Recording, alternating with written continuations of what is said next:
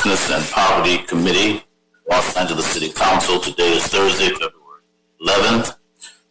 We're ably supported by Ms. Campos from the City Clerk's Office and Ms. O'Neill from the City Attorney's Office and Mr. Wickham from the Chief Legislative Analyst's Office.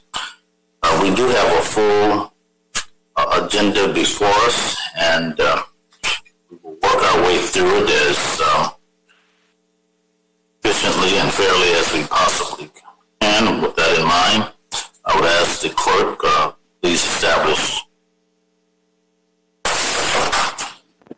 Yes, sir. Um, Good morning, everyone. Um, Councilmember Ridley Thomas as chair. Here. Councilmember De Leon. Here. Councilmember Raman. Here. Councilmember Rodriguez. Here. And Councilmember Buscaino. Good morning. Here. We have five members and a quorum, sir. Thank you very kindly, uh, Ms. Campos. Good morning, members. Uh, ladies and gentlemen, we do have um, a rather substantial uh, agenda today. Um, we begin with a public comment, um, and I'm now going to ask um, that the uh, city attorney um, establishes the ground rules for our benefit. Ms. O'Neill? Thank you, Mr. Chair. To the members of the public calling in, when it is your turn to speak, please state your name and which of the agenda items you wish to speak on. You will have one minute to speak on one agenda item or two minutes to speak on two or more items. In addition, those who would like to address the committee with general public comment will be provided one additional minute for a maximum of up to three minutes per person for all agenda items, including general public comment. We will inform you when your time is up. When speaking on the agenda items, you must be on topic. Our goal is to get through as many speakers as we can. If you are not speaking on topic, or if we cannot tell whether you are speaking on an agenda item, you will get one brief warning from the city attorney or the chair. If you do not immediately get clearly back on topic, or if you again stray off topic, you will forfeit the rest of your time, and we will move on to the next speaker. We will take up to 40 minutes total of public comment today. Please press star to request to speak. As soon as you hear someone address you on the phone, please press star six and state your name and state which agenda items you would like to speak on. Thank you for your cooperation. Uh, thank you, uh, Madam City Attorney. Um, now let's hear from the clerk, uh, who will give us instructions for the public to call in. Please proceed. Ms. Campos. Thank you, Mr. Chair. Members of the public who would like to offer public comment on the items listed on the agenda should call 1-669-254-5252 and use meeting ID number 160-431-9380, and then press pound. Press pound again when prompted to, for participant ID. Once admitted into the meeting, press star 9 to request to speak. Please note, if you are listening to the meeting on a computer or speakerphone, you will need to turn down the volume on those devices before you speak. If you do not turn down the volume, there will be an echo.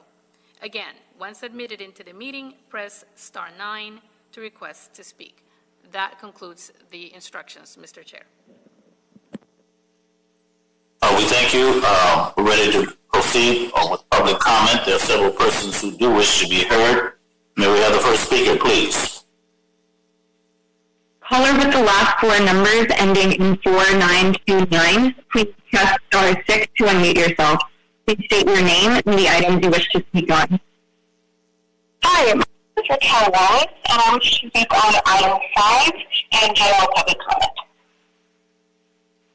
Could you repeat that? So, the news from FEMA is amazing. The fact that the city will be reimbursed for going forward with this hotel plan is amazing. So we have to take advantage of that fully. So th- this motion has to pass today, and it should be waived through the COVID committee and just sent to the city council for the vote next Tuesday. We should maximize the amount of hotel rooms we have available because this is a great opportunity. Not only are these shelter options non-congregate, they're private, and and they're vacant, so why not use them? So I think we should pass that and get that voted on next Tuesday, have that passed, and shelter where we those most in need. And for general public comment, as we move about decision next Tuesday, we have to stop the streets. People should be allowed to stay in their encampment until we can provide them shelter and I feel like that could work better. I know everyone wants to have like sidewalk and all of that, but we're just moving people dangerously in the name of sidewalk aesthetic. And we have to stop until we can actually provide logical, caring shelter options. So no congregate shelters, um, come to a hotel. We, I mean, we have them available. They're vacant, like you them. That's it. We thank you very much for your testimony. We'll take the next speaker, please.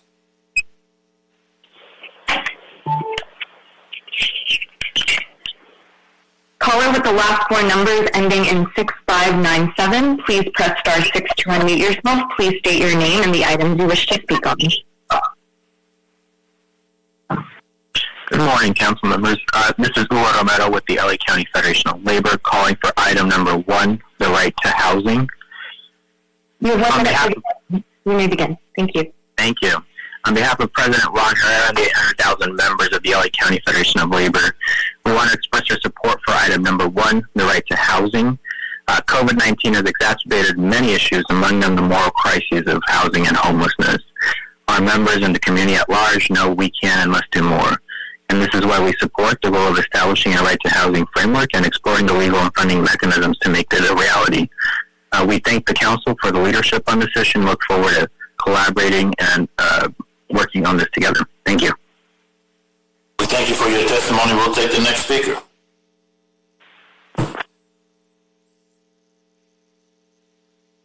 Caller with the last four numbers ending in 2538, please press star 6 to unmute yourself. Please state your name and the items you wish to speak on.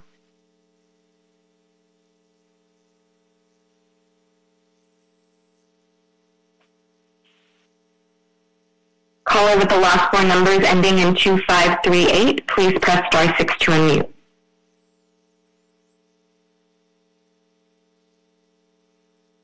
Okay, caller with the last numbers ending in 5210, please press star 6 to unmute yourself. Please state your name and the items you wish to speak on.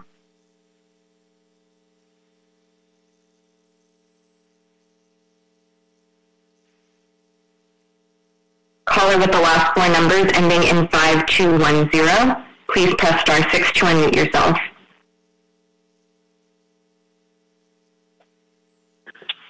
Hi, um, I'm in Angelino. I am not giving my name today because I know people have been targeted. I want to speak about the Care Plus cleanups. Um, I'm requesting that the council resume them. I fully respect the intentions behind this motion for voluntary cleanups, but the reality on the ground is different. I've personally helped unhoused neighbors remove unwanted trash that covered more than half a block and they complained to me about the fact that this trash was vermin infested. I saw with my own eyes that it had rotting foodstuffs in it. And the reason it was there is because this was trash that the city hadn't been able to pick up for weeks because the person storing it didn't live in the encampment. And so there was no one there on the days that LA San came to volunteer to let them take it away. So the Care Plus system, I believe, was designed with the intention of protecting our unhoused neighbors, and I think the Care Plus should be able to continue. Thank you. Thank you very much for your testimony. Uh, we'll now go to the next speaker.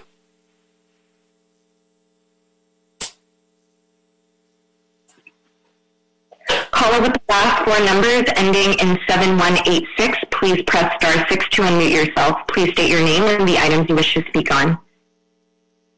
Hi, yes, my name is Alex. I'm calling from CD10 that has over 1,200 unhoused people, speaking on agenda items 5, 6, 7, and general public comment. You have three minutes. You may begin. Woo. Um, so for item five, you need to jump on these items now and deal with urgency. I am so tired of the council acting like we aren't in a pandemic and we don't have an unhoused epidemic. It sounds like city council is reluctant to act on on the FEMA funds because they don't know where the money is going to come from or when they're going to get it back. I'd like to remind you that there is $150 million from the LAPD budget just sitting around waiting to get used that the mayor, the mayor vetoed, and you guys have more power than the mayor, so go get it because LAPD is trying to take it back.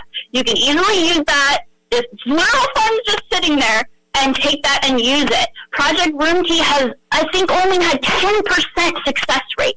We only have like 8,000 shelter beds for over 70,000 unhoused people, not to mention when evictions are happening, whether or not they're legal, and people are losing their jobs constantly, there, we're going to have even more people that are going to be losing their homes. People can't afford to pay their health insurance. People are in debt. People are one bill away from houselessness. You need to act on this now and with urgency. Pass it through. Get it to City Council on Tuesday. Stop the care sweeps. Unlike the last caller said, they are not helpful. The CDC has said that if you don't allow these people to shelter in place, it spreads COVID, especially because LAPD does not wear masks and several of them are dying from COVID. Like the Dalai Lama says, if you cannot help someone, then don't harm them. Care sweeps are harming people. They have 15 minutes to grab all of their belongings, and then the LAPD presence there will arrest them if they're not if they won't take shelter. Well, one minute shelters. remaining. There's one minute remaining. Thank you. Congregate shelters spread COVID. I know because my sister has had to bounce between shelters and hotel rooms. You can seize the hotels that will have them be individually sheltered in place, and if you're not going to do that, leave them the fuck alone. There are there are more than five unhoused people dying a day. That is on you. Act now. Stop the care sweeps. Get the hotels. Like, just please, for the love of God, do something. That's the end of my time. Thank you. We thank you for your testimony. We'll take the next speaker, please. Caller with the last four numbers ending in 2425, please press star 6 to unmute yourself. Please state your name and the items you wish to speak on.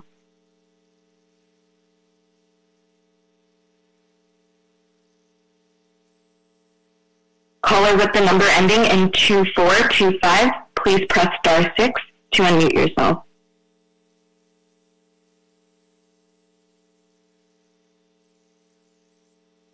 Okay, next caller. Oh. Next caller. Next caller. Caller with the number ending in 8219, please press star 6 to unmute yourself. Please state your name and the items you wish to speak on. Hello, this is Greg Spiegel from Inner City Law Center. I'd like to speak on item number one and for general public comment, please. You have two minutes. You may begin. I'm calling to support a right to housing in Los Angeles as a long overdue and necessary strategy to finally tackle the city's displacement, eviction, and affordable housing crisis. In addition to the number of homeless people already on the street, there are 500,000 plus families in LA County earning less than $55,000 per year who cannot afford the home they currently live in. And the burden isn't evenly distributed. Black families and Latinx families are more likely to be severely rent burdened and evicted than white families. And single mothers of color are the most likely to be evicted. A right to housing is needed because the market won't and never has addressed the housing needs of low-income people. A right to housing is a permanent home. It's not a cotton shelter. A shelter can be preferable to the street, but it's not a home, and certainly not a permanent one from which someone can build their life. A right to housing is a home that someone can afford, meaning you can pay rent and pay for the other necessities of life like food, medication, clothes, schooling, utilities. You should be able to afford everything a family needs and afford housing. Right to housing is an equity strategy that addresses the historic segregation and ongoing systemic racism that makes it more likely that you'll be evicted if you are black or Latinx or a single mother of color. A right to housing is a home that is stable. It's more than a physical housing unit. It's having a home that is free from threats of harassment, intimidation, and unjust eviction. It provides people with a stable life rooted in their community. And if that stability is under threat, it provides access to resources to protect the home, including a right to counsel. And if displaced, the tenant does doesn't have legal barriers that prevent her from getting another home. A right to housing is a home that is habitable. It's not a slum. A right to housing is a home that is in a safe and well-resourced neighborhood. A right to housing is a home that is available throughout the city, regardless of historic segregation and exclusionary zoning. A right to housing is a massive public investment in affordable housing development. And finally, a right to housing is necessary if the city is ever going to solve its housing crisis. Thank you. Thank you for your testimony. We'll now take the next speaker. Caller with the last four numbers ending in 2283, please press star six to unmute yourself. Please state your name and the item you wish to speak on. Hi, this is Harris Rosenblum, and I'd like to speak on items one, five, seven, and general comment. You have two minutes for the item and one minute for general public comment. You may begin. Uh, on behalf of the Los Angeles Business Council, uh, we fully support the concept of establishing a right to housing framework within the city of Los Angeles. Uh, LA's worsening housing and homelessness crises remain the highest priority issue among LA residents, and if we want to seriously address it, we must craft solutions that meet the magnitude of the problem. Housing is one of the few public goods that we treat as a commodity rather than a necessity, creating a right to housing aims to address this lack of a legal framework when it comes to providing a roof over the head of Angelinas. Uh, the right to housing is a key priority for the LABC and for our working group on urgent homeless solutions, consisting of leaders from private, nonprofit, and philanthropic sectors. Um, we believe this intersectoral group can help promote and advocate for policy solutions that will propel our homelessness efforts across the. We must find ways to encourage urgent and bold action to hold our city accountable to creating housing solutions that will move people off the street and into homes quickly and effectively. The current plan is not sustainable. We look forward to working with Councilmember Ridley Thomas's office on this motion and others to address rising homelessness within the city of Los Angeles.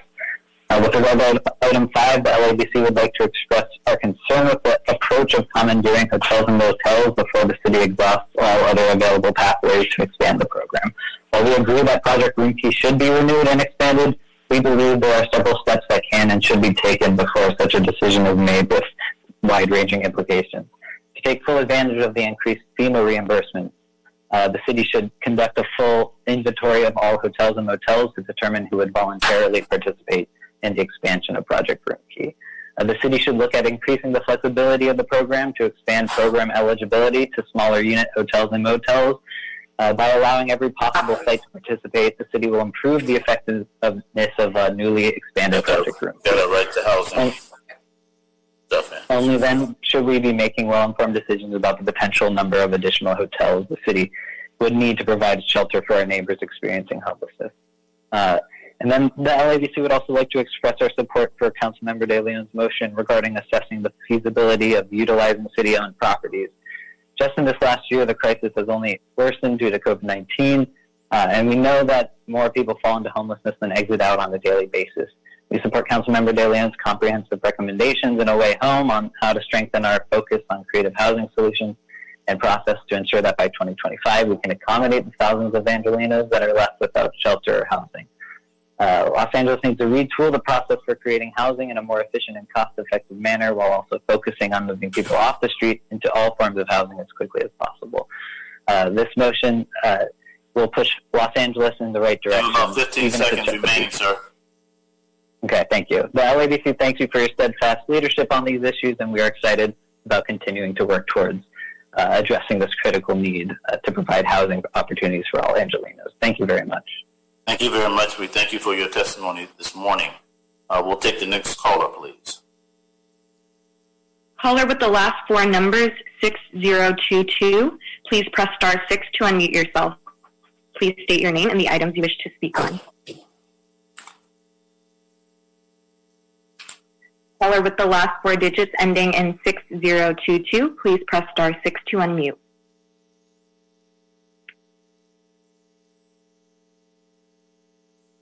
Okay, caller with the last four digits. Oh, And hi, then- I'm here. Okay. Sorry. Go ahead. Okay. Hi, my name's Danny, and I'd like to speak on agenda item five um, and general public comment.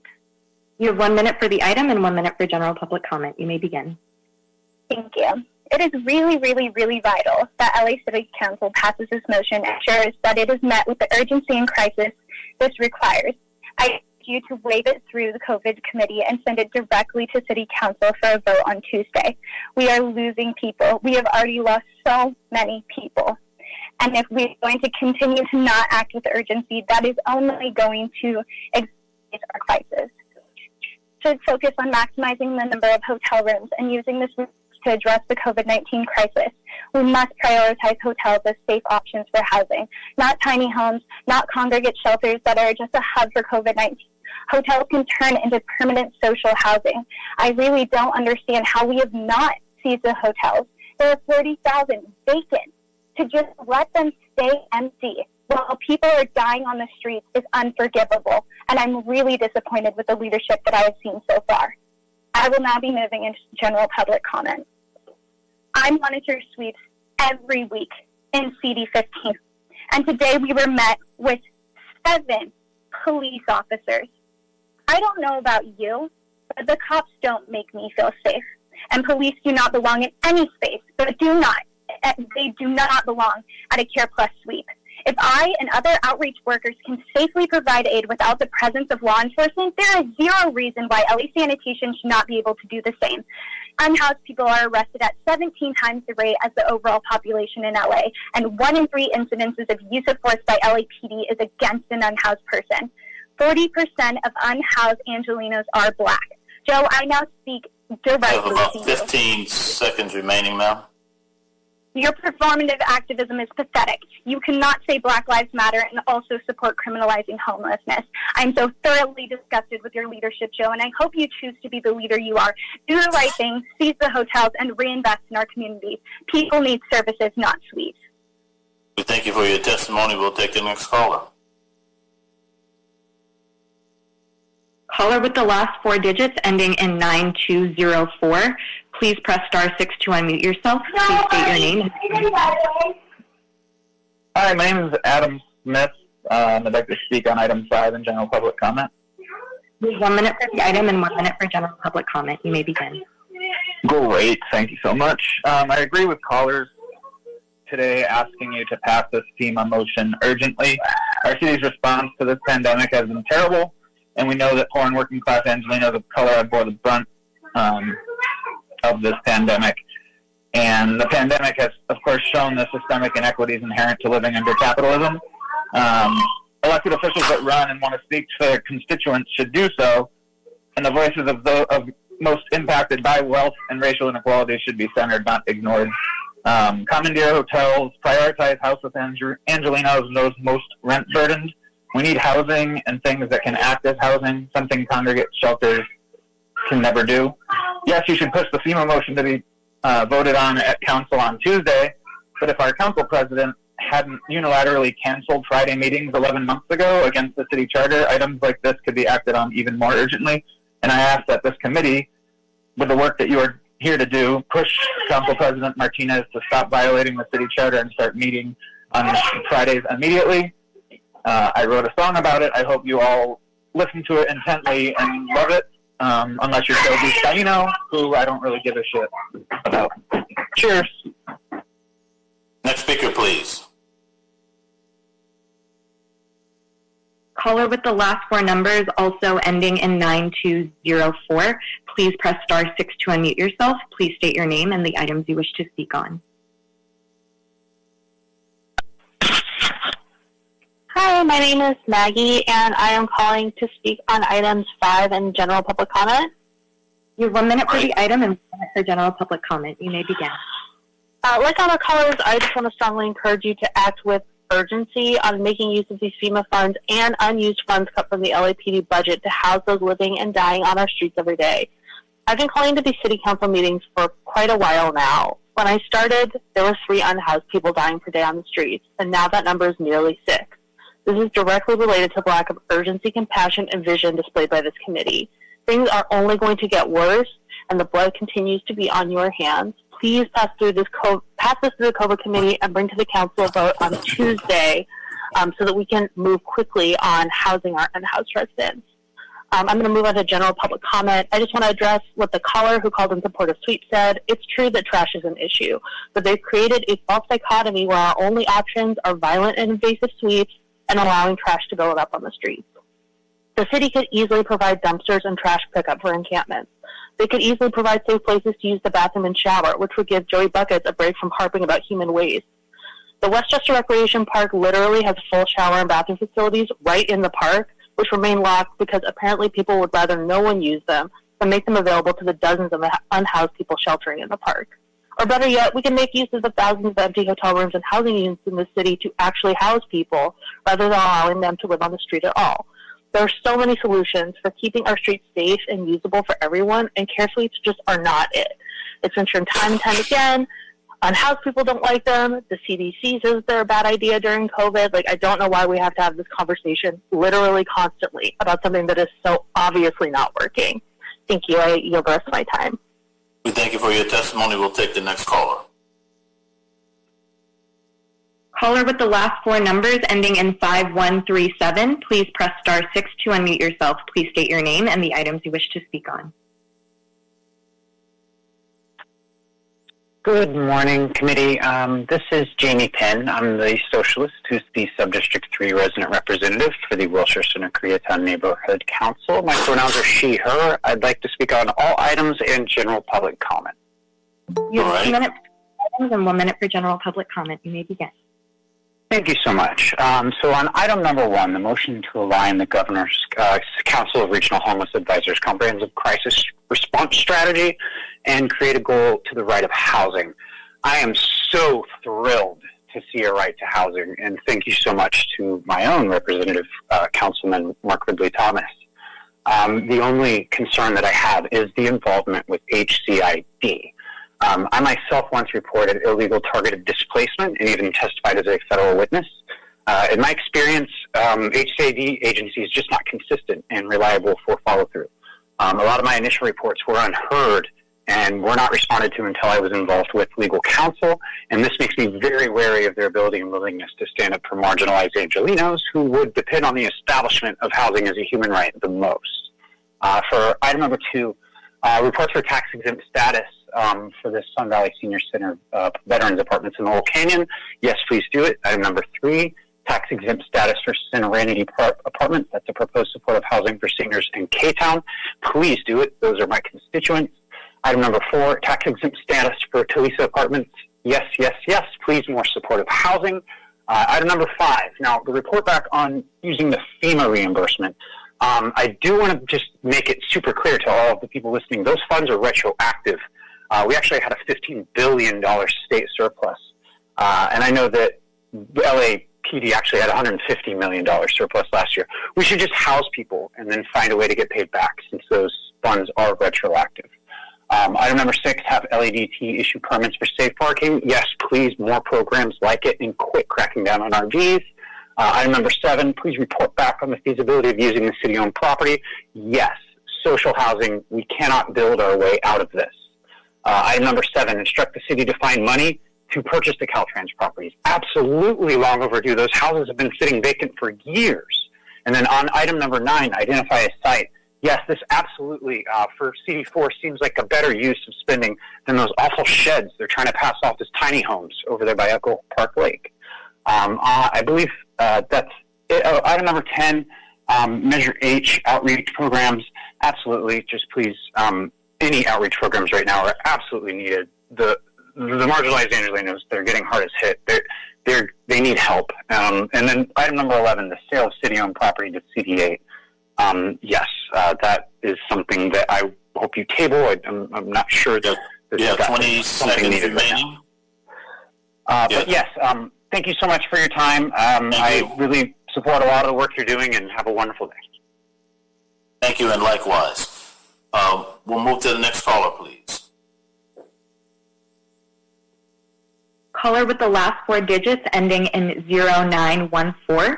Please press star 6 to unmute yourself. Please state your name and the items you wish to speak on.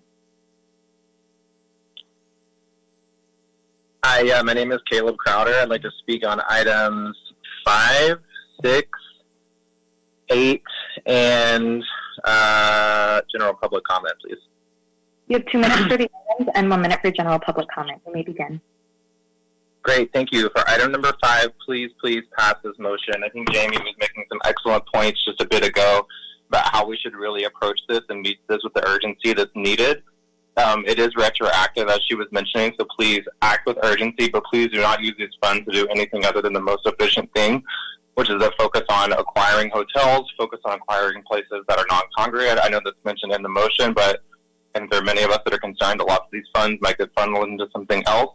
So please make sure that when we're talking about housing right now that is for emergency, that we're thinking about it in an equitable way, especially considering that many of that house, much of that housing, um, all these hotels have already received funds for it. We all know it. You know it. Please hold these folks accountable. Um, I'm going to move on to item number six. This is great. I thought it was really awful that LADOT was trying to suggest that Canoga Park should have some sort of say, the neighborhood council should have a say over whether or not we're using these city-owned or LADOT-owned properties. So I think this is amazing. Put pressure on them. Take some of that power away from neighborhood councils who should absolutely not have it. Um, item number seven. Uh, no, I don't want to speak on that one. Just kidding. Item number eight. I think this is amazing. Yes, please acquire all these properties. We shouldn't have to be going through these wild processes where folks are having to commandeer spaces themselves, putting their lives on the line in the midst of a pandemic to acquire properties that we should already be proactively acquiring. If they're sitting vacant, if there are any vacancies, we have an emergency and a crisis on our hands that is not new. This has been building for decades. If there are vacant properties, acquire them. We keep asking you to do it. You have the political will and the public will from us to do it. Please, we give you the green light. Go ahead.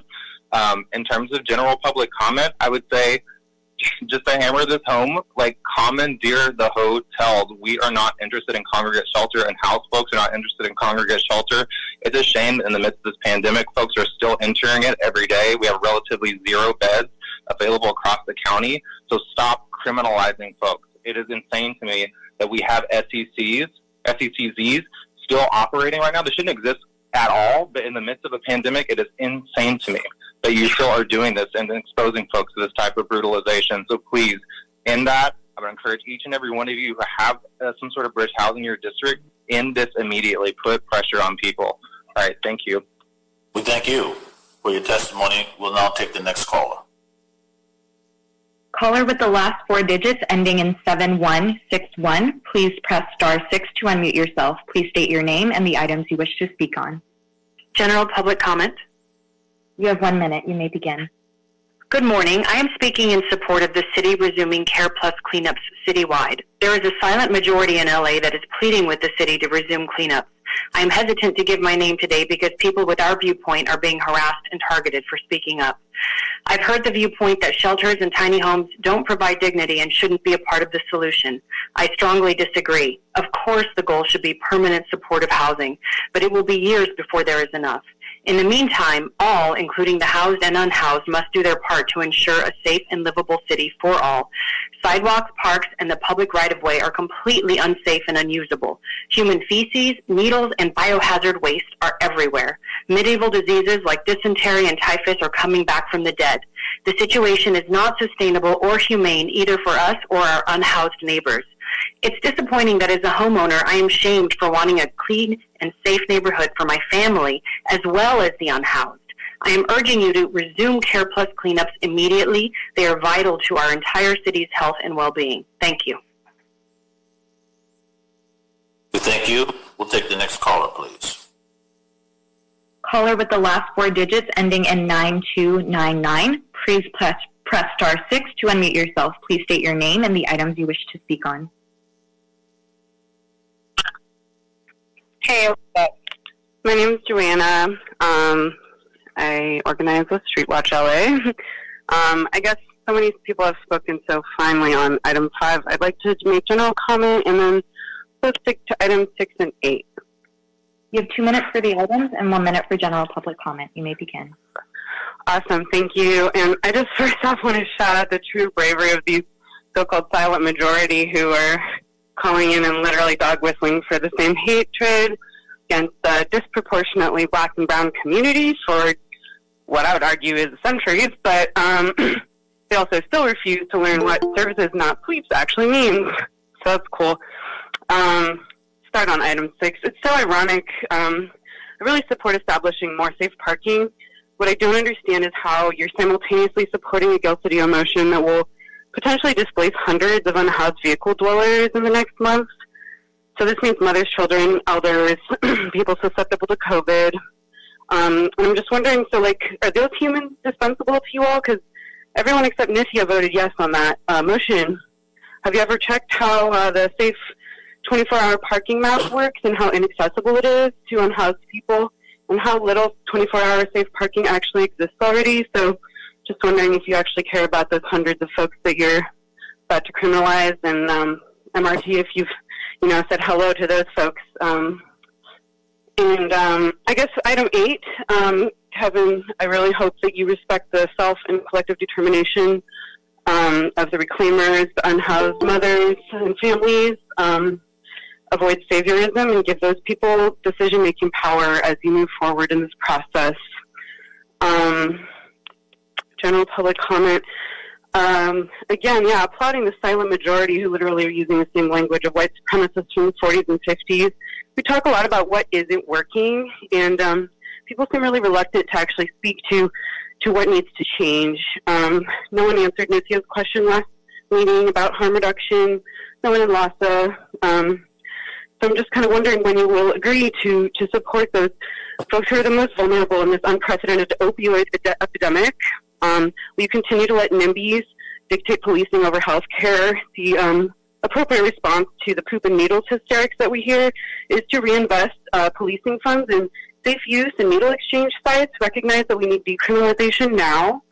Um, and in a larger healthcare discussion, I think we also need access to vaccination. We understand that vaccines are, of course, becoming less and less accessible to black and brown communities and working class communities. So that includes our unhoused neighbors, and we need you to be prioritizing that vaccine outreach over shit like criminalizing vehicle dwellers right now. So just please keep those folks in mind.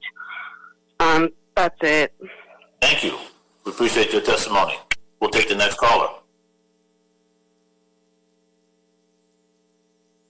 Caller with the last four numbers ending in 0240, please press star 6 to unmute yourself. Please state your name and the items you wish to speak on. Hi, this is uh, John Parks, and I'd like to speak on item number one. You have one minute. You may begin. Uh, my name is John Parks with the Coalition for Economic Survival. Uh, CES fully supports the right to housing motion and thanks Councilmember Ridley Thomas for introducing this along with your colleagues. It is high time that Los Angeles followed the international community in recognizing that housing should be a human right for all community members. The housing and homelessness crisis has reached a breaking point as more folks fall into the cycle of homelessness in the midst of this pandemic. This motion is a good step forward, but the City Council must take concrete steps to create a tenable implementation plan from the facts and research contained within the comprehensive crisis response strategy to truly and quickly ensure people's right to housing. Thanks so much. I'll yield the rest of my time. Thank you for your testimony. We'll take the next caller.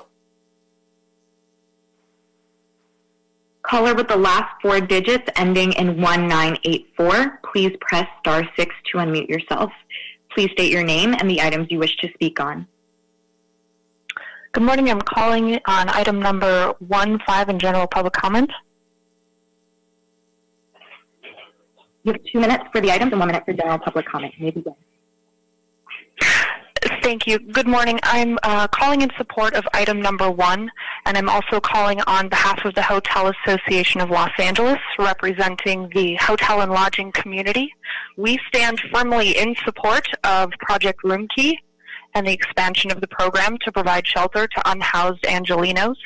The greater hotel community has been a willing partner in Project Roomkey since February of 2020, when hotels and motels representing more than 30,000 rooms expressed interest in participating in the program. Hoteliers continue to remain open and interested in the evolution of this program as it transitions to Project Homekey. And at this time, we ask the city to resolve one of the biggest roadblocks to program success and use the additional FEMA money to support third-party organizations providing the necessary wraparound services to ensure the well-being of individuals participating in the program. In many cases, the program has not had enough medical, mental, and health professionals and food service programs to support the thousands of individuals the county and city would like to engage, thus stalling the program. A hotel's core function is to provide temporary shelter in a caring and generous way, and as Project Roomkey and Project Homekey advance, we look forward to successful partnerships with local governments to provide shelter for those in need. Thank you. Thank you for your testimony. We'll take the next caller. Caller with the last four digits ending in 9840, please press star 6 to unmute yourself. Please state your name and the items you wish to speak on. My name is Brad Kane. Uh, I'm the president of the South Carthay Neighborhood Association, the Pico Neighborhood Council. The views I'm expressing are solely my own. I want to speak on items 1, to 5, and general public comment. Uh, strongly support uh, item item one on the agenda. I think it's necessary. Uh, unfortunately, I think the city uh, bureaucracy is somewhat resistant, and we need to move this forward as quickly as possible. On item number five, um, I think that the focus on using hotels and motels for Project Roomkey is great, but I think it is somewhat limited. We have an enormous available stock of unused uh, apartments they are the luxury dwellings that have been built under the TOC program, SB 1818. Many in my community where we have homelessness growing in encampments can see buildings that are half occupied or less. They got a benefit from the community to be much bigger than they should have been. So now I think it's time to look at requisitioning that space if, because they have not lowered the rents in at least two years. They're 5000 a month for a two bedroom. No one can afford it. So since we can't do a vacancy tax apparently, or it's going to be sometime down the road, can we talk about this and maybe they'll lower the rent so more people have places to go? Finally, uh, I just want to mention in the form of general public comment that I published an article with Dick Plotkin on a number of proposed ideas that are small bore but could move things forward because we have more people dying from homelessness than homicide right now in the city of LA.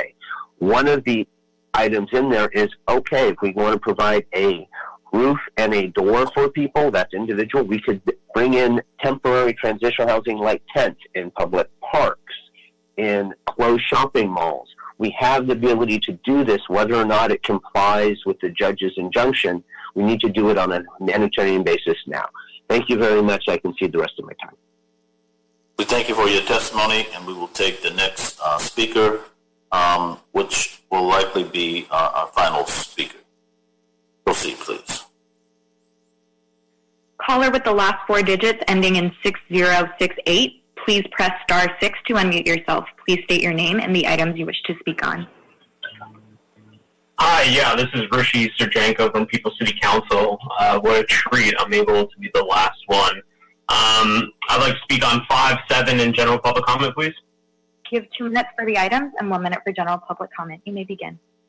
Yeah, so so oh excuse me, I'm at number eight instead of number seven. So number eight, um, you know, I fully support um, Kevin DeLeon uh, using underutilized city-owned property or state-owned property for housing options.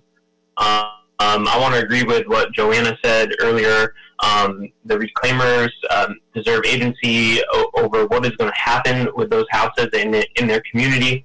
Um, KDL, this seems like something that you actually want to take a stand for. Um, so I'd like to see you pursue it um, in the best way possible. And, you know, and to the point of using underutilized city-owned property, um, you know, that ties into item number five about uh, the report back on using FEMA reimbursement to expand non-congregate uh, shelter options. You know, this is, we're in an emergency, and, and, you know, I appreciate this being being pushed forward, and we are encouraging the the committee to pass this motion, but ensure that it is met with the urgency that this crisis requires. Um, it should be waved through the COVID committee and sent to the full city council for a vote next Tuesday. If you saw the, the numbers from January, um, five and a half unhoused people died in Los Angeles per day. That We are 10 months into this. Unfortunately, we have people like MRT, KDL, Councilmember Raman on this council that, that seem to actually care about figuring out solutions for this crisis. And every single homelessness and poverty agenda should look like this. It's encouraging to see a committee ready to pass solutions rather than argue about criminalizations and policies that waste our time. Like like Joe Buscaino, I mean, everyone else here seems to be a pretty good person. Joe Bucket's, you know, No one really likes you, buddy.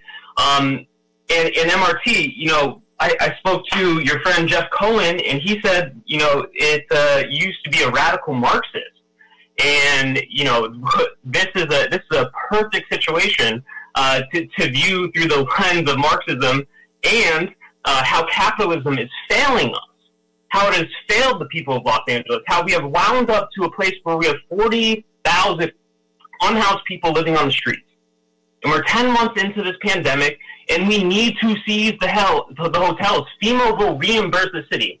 And if you're worried about where the money is going to come from right now, I have a solution for you. That $150 million that you were going to take away from LAPD last year, take that. And guess what? LAPD also had $150 million surplus last year. So take that.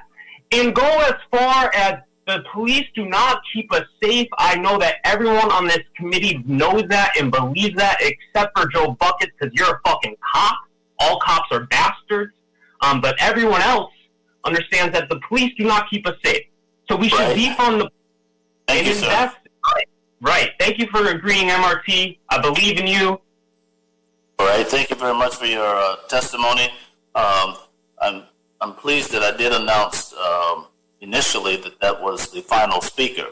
Uh, it had nothing to do with the content of his remarks and his attempt to out me in terms of my uh, uh, ideological credentials. Um, I thank you very much, but I will be talking with Jeff Cohen uh, and straightening him out. Uh, uh, he invokes a name of from some 30, 40 years ago. Uh, long live uh, the memory of Jeff Cohen. Madam uh, City uh, Clerk, uh, what's before us before I uh, become completely disoriented? Thank you. So, Mr. Mr. Chair, that completes uh, public comment. So, um, what, what is, whatever the committee. Uh, Madam City Clerk, uh, you're muted. Uh, uh, we didn't mean to wreck the meeting. That was just an intervention of um, uh, some consequence. Um, we'll get back on track momentarily here. Uh, I apologize, Mr. Chair. Um, That's that's quite all right. Uh, it wasn't Das Kapital. Go ahead. Right ahead. So at this point, we have concluded public comment. Um, Is, are there items that the chair or the committee would like to take on consent? It would be appropriate to do that now. All right, uh, the, cons- the consent calendar is before us, uh, Madam, um, I mean, members of the committee. Um, uh, and, uh, I'm prepared to move, uh, items two through four, six through 11. Um, and, uh, we will leave items, uh, one and five to be discussed by the committee in its totality. I see the hand of, uh, Yes. Councilmember Raman. Uh, Yeah, I had a quick addition or amendment to item 10, which is my um, um, motion around um, outreach, if that's if that's all right. Uh, please proceed, uh, Madam Council Member. Um, so I uh, I just wanted to say that you know I introduced this motion uh, at the on my first day in council, and since then have had a little bit more experience trying to work with LAHSA and with other outreach organizations in the district to see how we can work on filling some of the gaps that I know we have in outreach. Um, and I want to be as effective as possible in doing that. But we are we found that there are some limitations in data sharing, and I know that the motion talks about data sharing, but I just wanted to get a little bit more explicit information from LAHSA if possible on um, details about the data points that LAHSA is collecting through their outreach activities, which of those data points are or are not shared with the city, the legal barriers they're facing in collecting and sharing that information with the city, and any recommendations they might have for future da- future data sharing practices, which can improve the coordination of services. And I really want to be cautious here that um, I do really want to safeguard the privacy of individuals. I'm very, very conscious of that, and to make sure that any data shared with the city is not used for greater surveillance or for law enforcement or criminalization in any way. I really just want to hear from LAHSA on how, um, you know, what they feel like data sharing practices could look like that could really improve coordination. Because I feel like I want to be helpful, but there are some limitations in kind of information sharing that are preventing me from being helpful through the office. Thank you very much. Um, uh, the matter remains on co- consent. Members of the committee, uh, permit the chair to just read the language of the amendment, uh, LAHSA to specify every kind of data. Mr. Chair?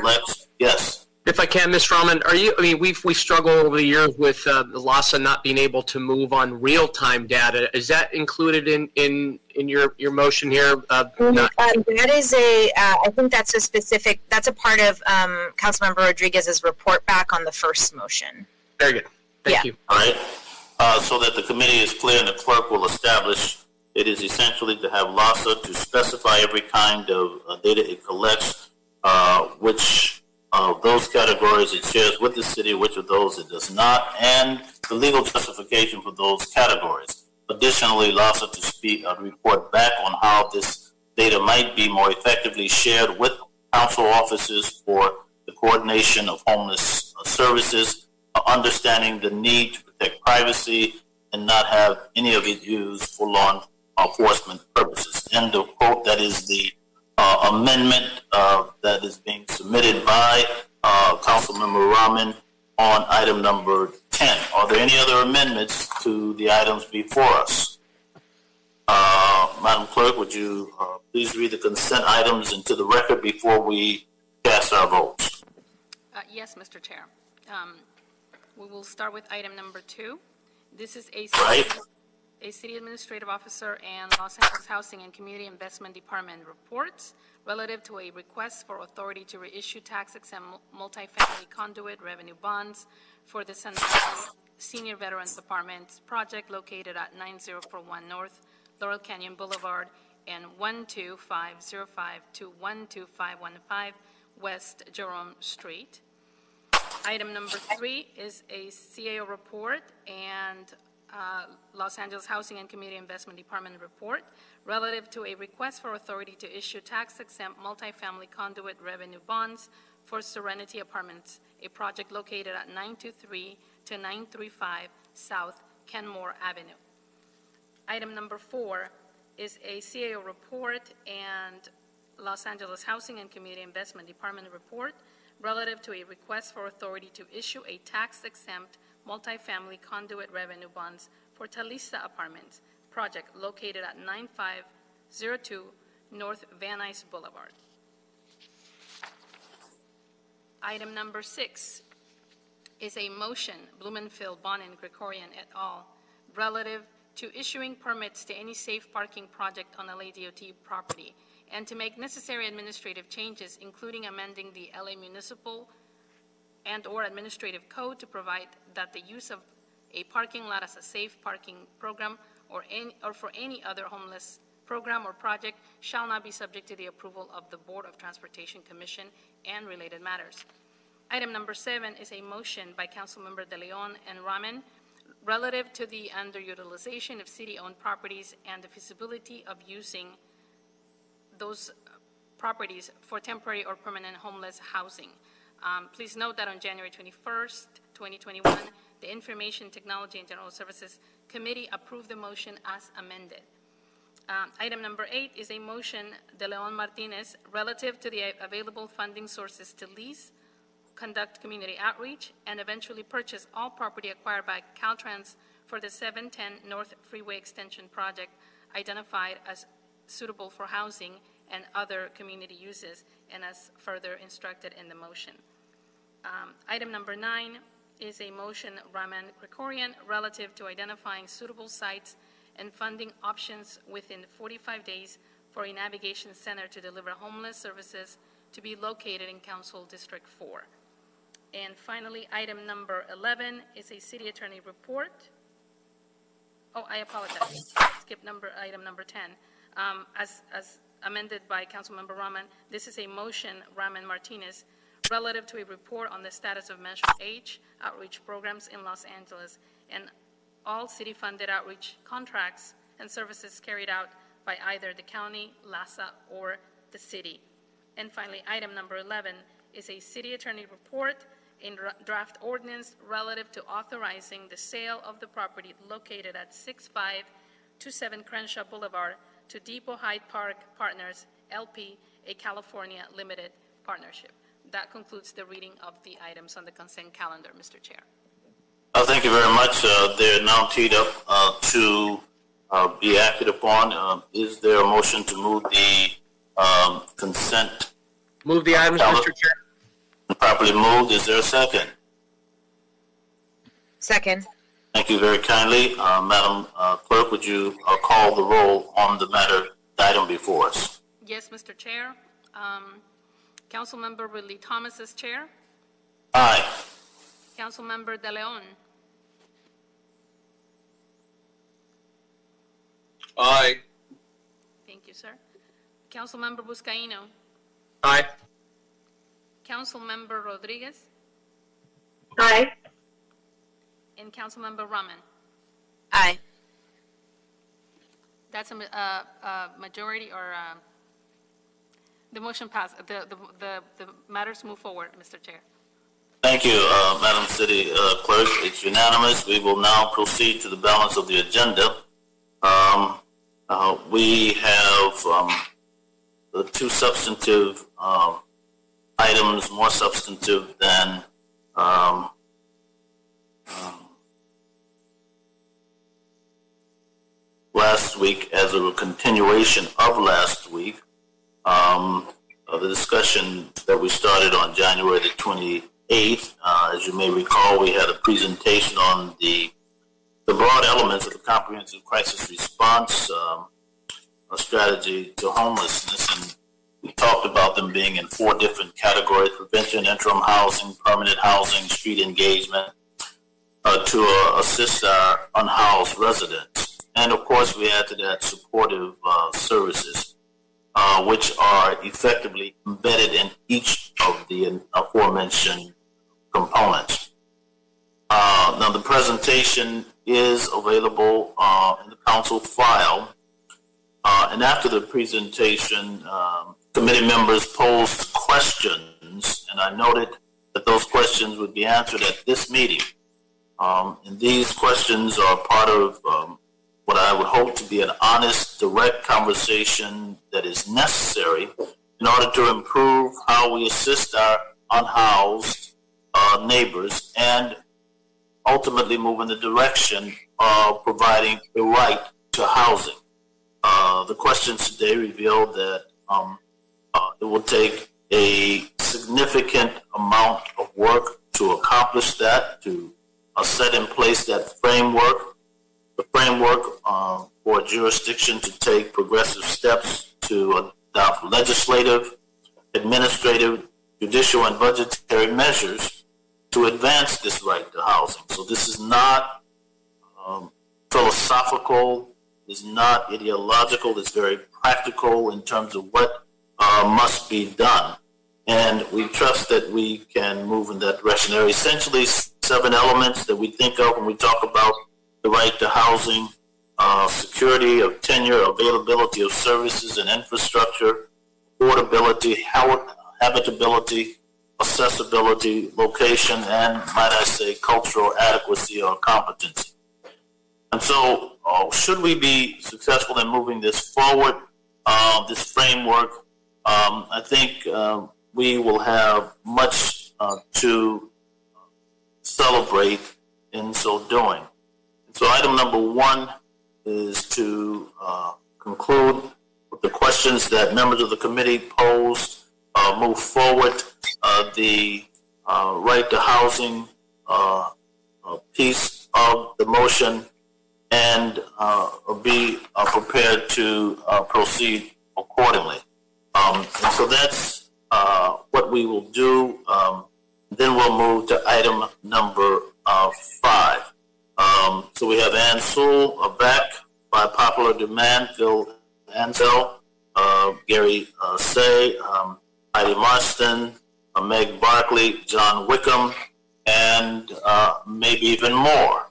Um, if that uh, caller were to re-enter the conversation, he may even bring up persons from your past who were involved in other pursuits that um, you didn't think we knew about. Thank you so much. Um, here we are. So, Mr. De Leon, Mr. Vice chair, you pose a question to Ann Sewill. She's ready to respond. We'll proceed with Ms. Raman, her questions, Ms. Rodriguez, Mr. Buscaino, um, had a couple of questions, and that is the manner in which we proceed. Uh, Ms. Uh, Sewill, would you proceed? Uh, and Mr. De Leon, uh, if there's refinement uh, to the question uh, after she um, answers, uh, feel free to do so. Uh, Thank you Ms. much, Sewill? Mr. Chair. Yeah, yeah. Thank you and good morning, um, Mr. Chairman, committee members. Um, so the question, as helpfully emailed out um, by the Chief Legislative Analyst Office, was um, about the leveraging of funding. And if we hadn't leveraged funding, I had commented that if we, um, on the HHH funds um, that are out the door already, if we hadn't leveraged, instead of being over 10,000 units, we would be at 3,000. And so the first part of the question was, please explain that logic. And, you know, so it, it was um, basically uh, just a, a math calculation. The average HHH subsidy per unit is about 135,000 right now, and there are 7,961 units in the pipeline. So I simply took 135,000 times 7,961, which meant that we have about 1 billion uh, 74 million co- committed to those units um, collectively. And then if I looked at the projects where we are doing no leveraging, simply um, providing city subsidy, and our only real example of that um, in the last year has been the Project Homekey projects where we re, um, used our coronavirus money from the state with our own money. Um, and, and the average subsidy on those was about 376,000 out the door. So just divided that 1 billion by the 376 and came up with 2,851 units. To use a more specific now, we have, um, you know, we talked last week about in the pipeline, we have about 29 HHH projects that will probably not start construction this year, but in the next year. They have 306 units. And if we took the money that's committed to those and put it into non-leveraged projects, we'd get about 683 units instead of 1906. So hopefully it's not, it it was not a, a really sophisticated calculation. It was just, you know, basically looking at what, what we've put into things where we haven't leveraged and, and how much money we save. Um, big advantage to not leveraging is you do bring the cost down because you, um, you aren't paying for the extra time that it takes to seek all those extra sources.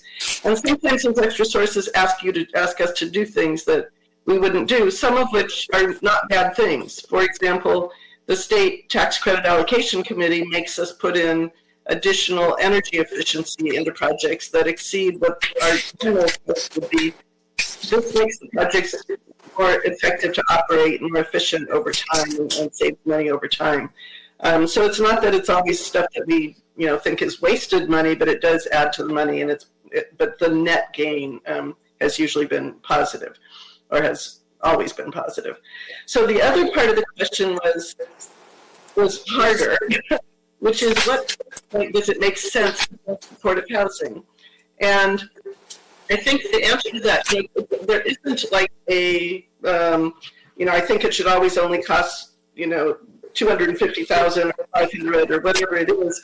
I think you have to look at what does it cost in the market to build an apartment building right now and be realistic about, you know, costs. From the day HHH passed, we had people coming forward saying things could be done for, you know, 250,000 a unit. They didn't ever say, I have just completed a building and it actually only cost 250,000 a unit. And we never really saw any actual um, developers with, with real numbers around that. So we, did, we do from time to time go out. We've worked with the Terner Center up at Berkeley, who's done a study on costs, and it's really hard to get market rate developers who don't have to share their costs with anybody. They're not being audited by the city as we do with HHH projects. Um, but it's it's hard to get them. But occasionally, you know, a friendly developer with some you know arm twisting will share share project costs. So we looked at the costs of a couple of um, TOC projects that had gone through recently, um, and and we came up with um, in a report that I provided to the Citizens Oversight Committee, which I'm happy to share, um, that most of those projects were coming in at about $460,000 a unit. And when you adjusted for um, three things that really add to the cost of any city affordable housing project, whether HHH or something else, almost always we require prevailing wage. And in some cases, we require, require beyond prevailing wage a project labor agreement. We also mostly require reserves. Most of these projects are going to be running really tightly on cash flow because their rents will be restricted forever or for 55 years. And so they're not, you know, one uh, pandemic with tenants who can't afford to pay rent, and you know, you need some reserves that that will not build up naturally over time. And we also um, pay developer fees, which are not paid in market rate projects because developers in market rate projects earn their fees when they sell the projects, usually two to three years after um, stabilized occupancy. So, so I think the real thing, you know, we look for what's reasonable in the market, and then um, how can we make sure that we are not adding to the cost with city with additional city requirements that we have that haven't really come before you. Prevailing wages was a conscious decision that we made. Um, and and you know those other costs were conscious decisions but sometimes we accidentally add things like replacement parking on city-owned sites or other requirements that we really want to explore um, making sure that we're not adding costs so the final part of the question was um, how do development variables such as land costs and development soft costs factor into deciding i guess what's a reasonable cost and you know, land costs are really the, about trying to push density as high as we can go because, you know, the more units per parcel of land, the cheaper the cost. On HHH projects, typically land is running between 45 and 65,000 a unit. Um, it varies. Um, and we are finding with the passage of um, AB 1197 two years ago that gave a CEQA exemption to our HHH projects, that developers really are finally able to take advantage of their um, density, uh, the ability to use higher densities in our permanent supportive housing zoning ordinance without fear of, of being sued under CEQA. Um, so uh, the, the soft costs, um, you know, as I said, the major one that you see in supportive housing that you don't see in other projects are developer fees embedded in the total development cost and because of the multiple financing sources in the longer period of time, you can see soft costs like holding costs go up. So I, Councilmember De Leon, I don't know if that fully answers your question, but happy to answer any more. No, no, thank you much, um, and I, I, appreciate the comprehensive sort of uh, analysis.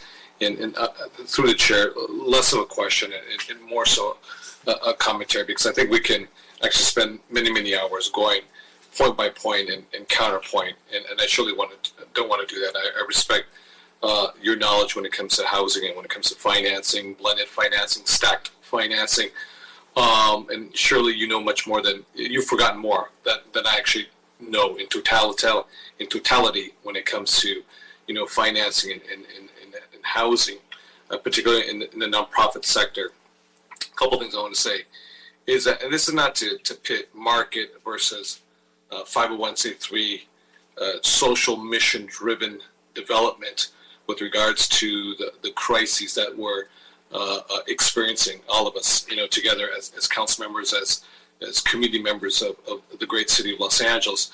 Uh, I, I, do believe that the, the current stacked, blended model system that we currently have is is, is severely outdated, and it, it, it drives costs still.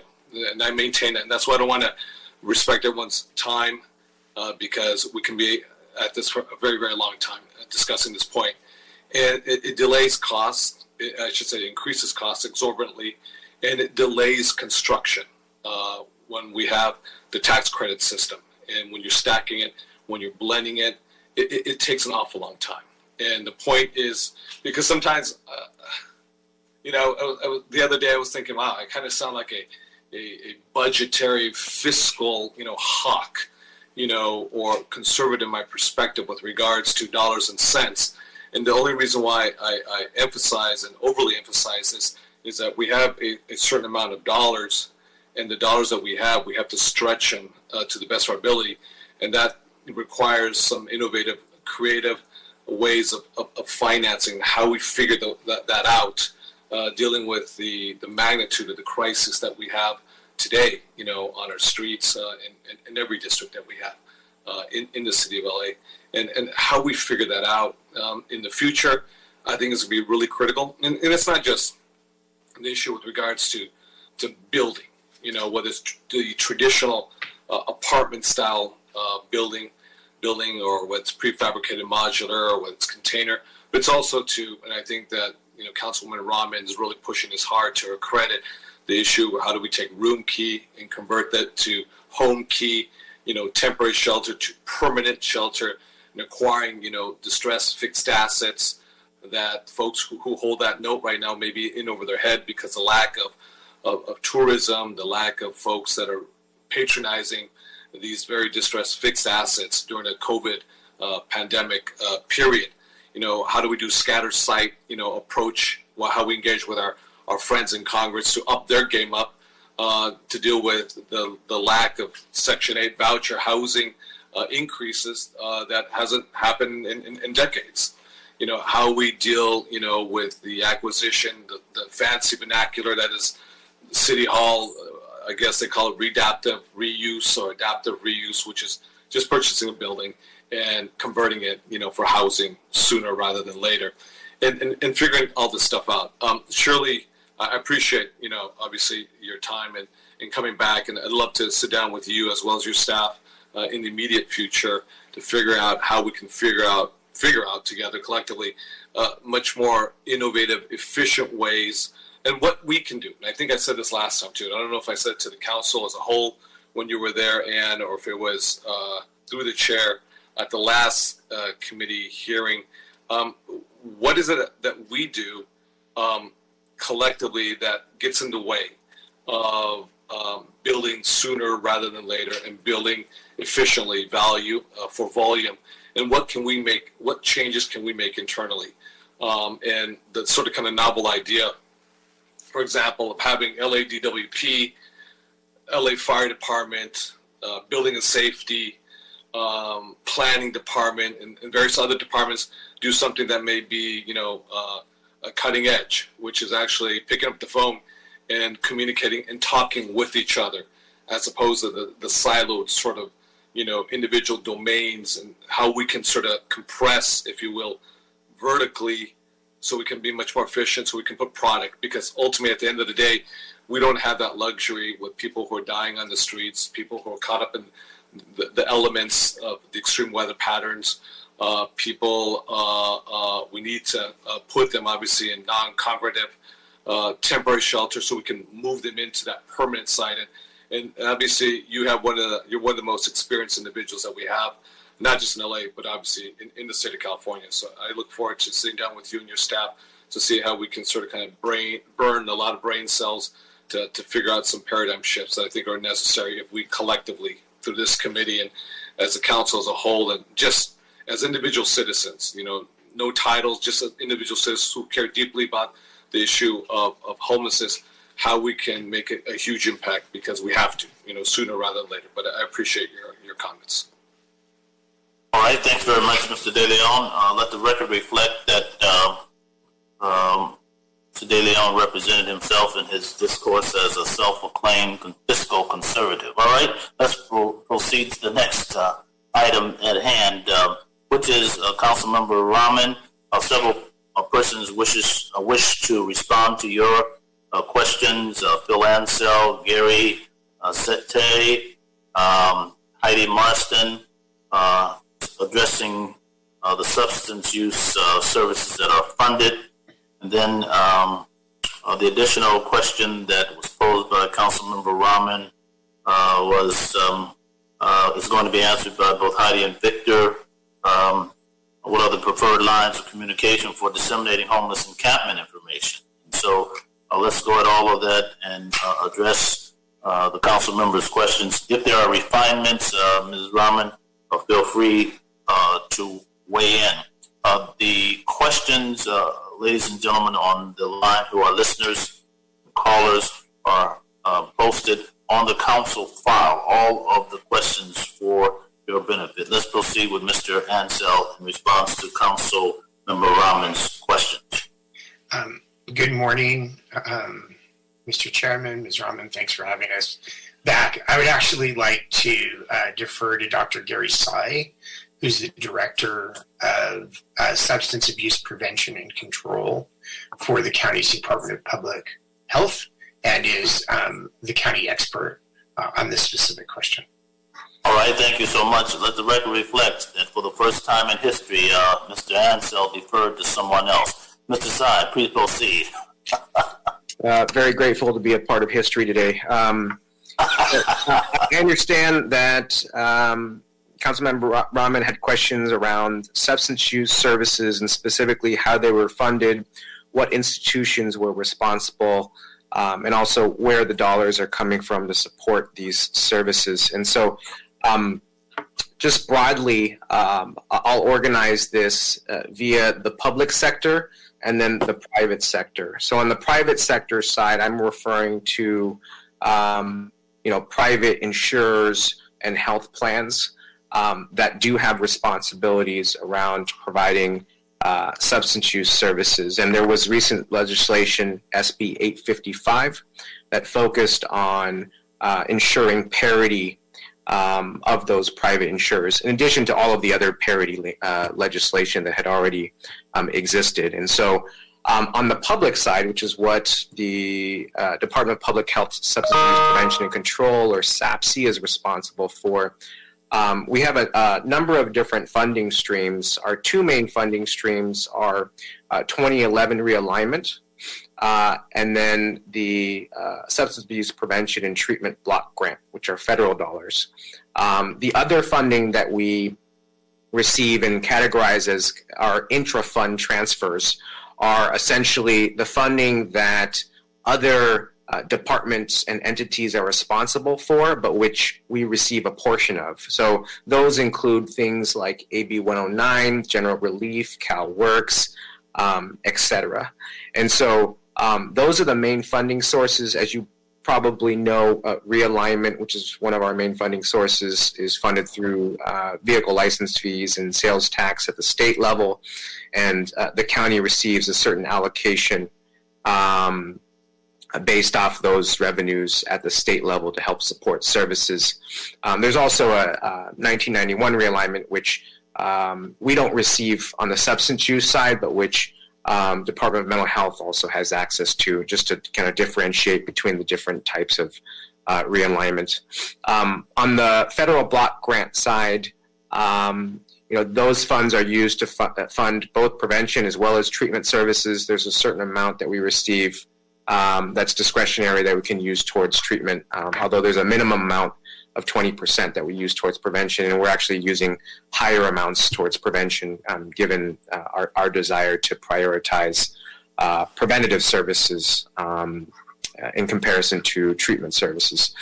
Um, the services that we fund that are not reimbursable through drug Medi-Cal, which is the carve out within Medi-Cal for substance use services, um, those are things like recovery bridge housing, uh, room and board for residential treatment, uh, and also the local share. So, one important point to make is that even for Medi-Cal reimbursable services, there's always a local share, and that local share or match is generally uh, anywhere from 10 to 50 percent depending on the population. You know, whether someone was previously eligible prior to the Affordable Care Act for Medi-Cal or whether they're newly eligible, uh, which is essentially uh, the expansion population.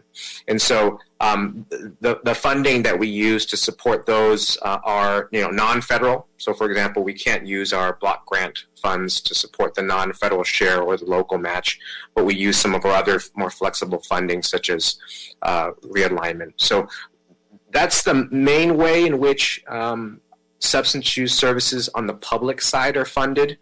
Um, it can we can get much more detailed than that, but uh, I'll pause there just to see if that addresses the funding question. Madam Council Member. Thank you. Thank you, Mr. Tsai. I just had a quick question. When you mentioned the prevention services, uh, what does that actually look like and where can those services be accessed?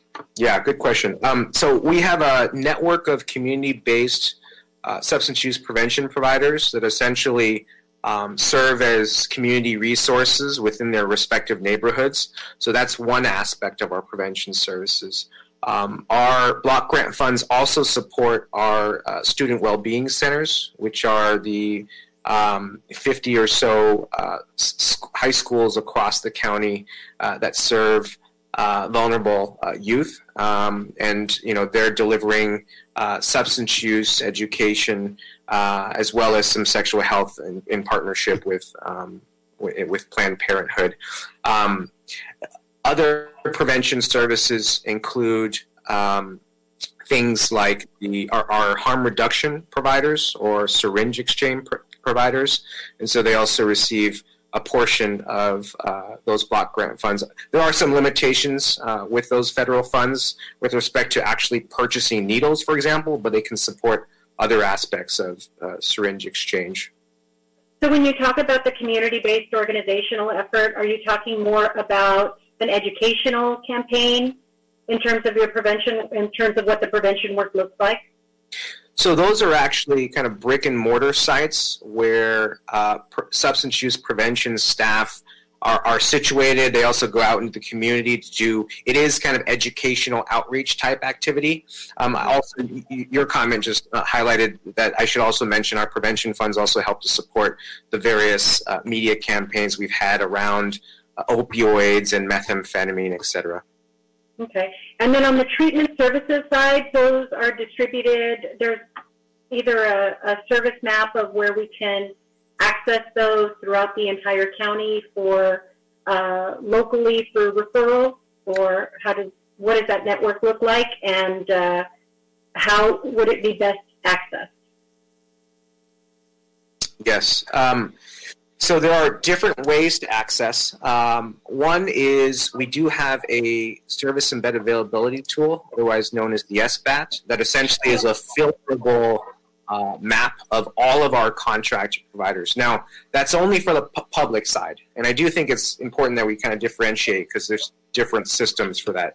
Um, so on the public side, that allows a user to go through all of our services and essentially filter, similar to how they would filter for a hotel on Expedia, exactly what they're looking for and narrow down the list of our contract providers. Um, that is also available through our website. We have a substance abuse service helpline, also known as SASH, where someone can call in um, and then they'll speak with an agent that's available 24 7 to link them with uh, a, treatment agency. And then also the, thir- the third main way, there's actually two other ways. One is um, just direct to provider. Uh, a lot of the services that we receive, probably close to half, are just you know word of mouth. Um, people in the community just hear about a, a location and they go directly there. Um, a- another uh, mechanism of access is through our client engagement navigation service, um, which are uh, staff who are situated at particular locations across the county. Um, whether it's DCFS offices or some in hospitals that can do something similar to what the SASH is doing, except they're doing it in person. Can I get your the website that you referenced about where they can identify the availability of beds and uh, treatment centers? Sure, no problem. I'll, I'll actually just, I think, post it in the chat if that's all right. Perfect. I think if we have the chat. Oh yeah, perfect. And then also the phone number. Thank you so much, Mr. Chair. You're more than welcome, uh, Councilmember Raman. Um, uh, were there additional questions you wanted to drill in on?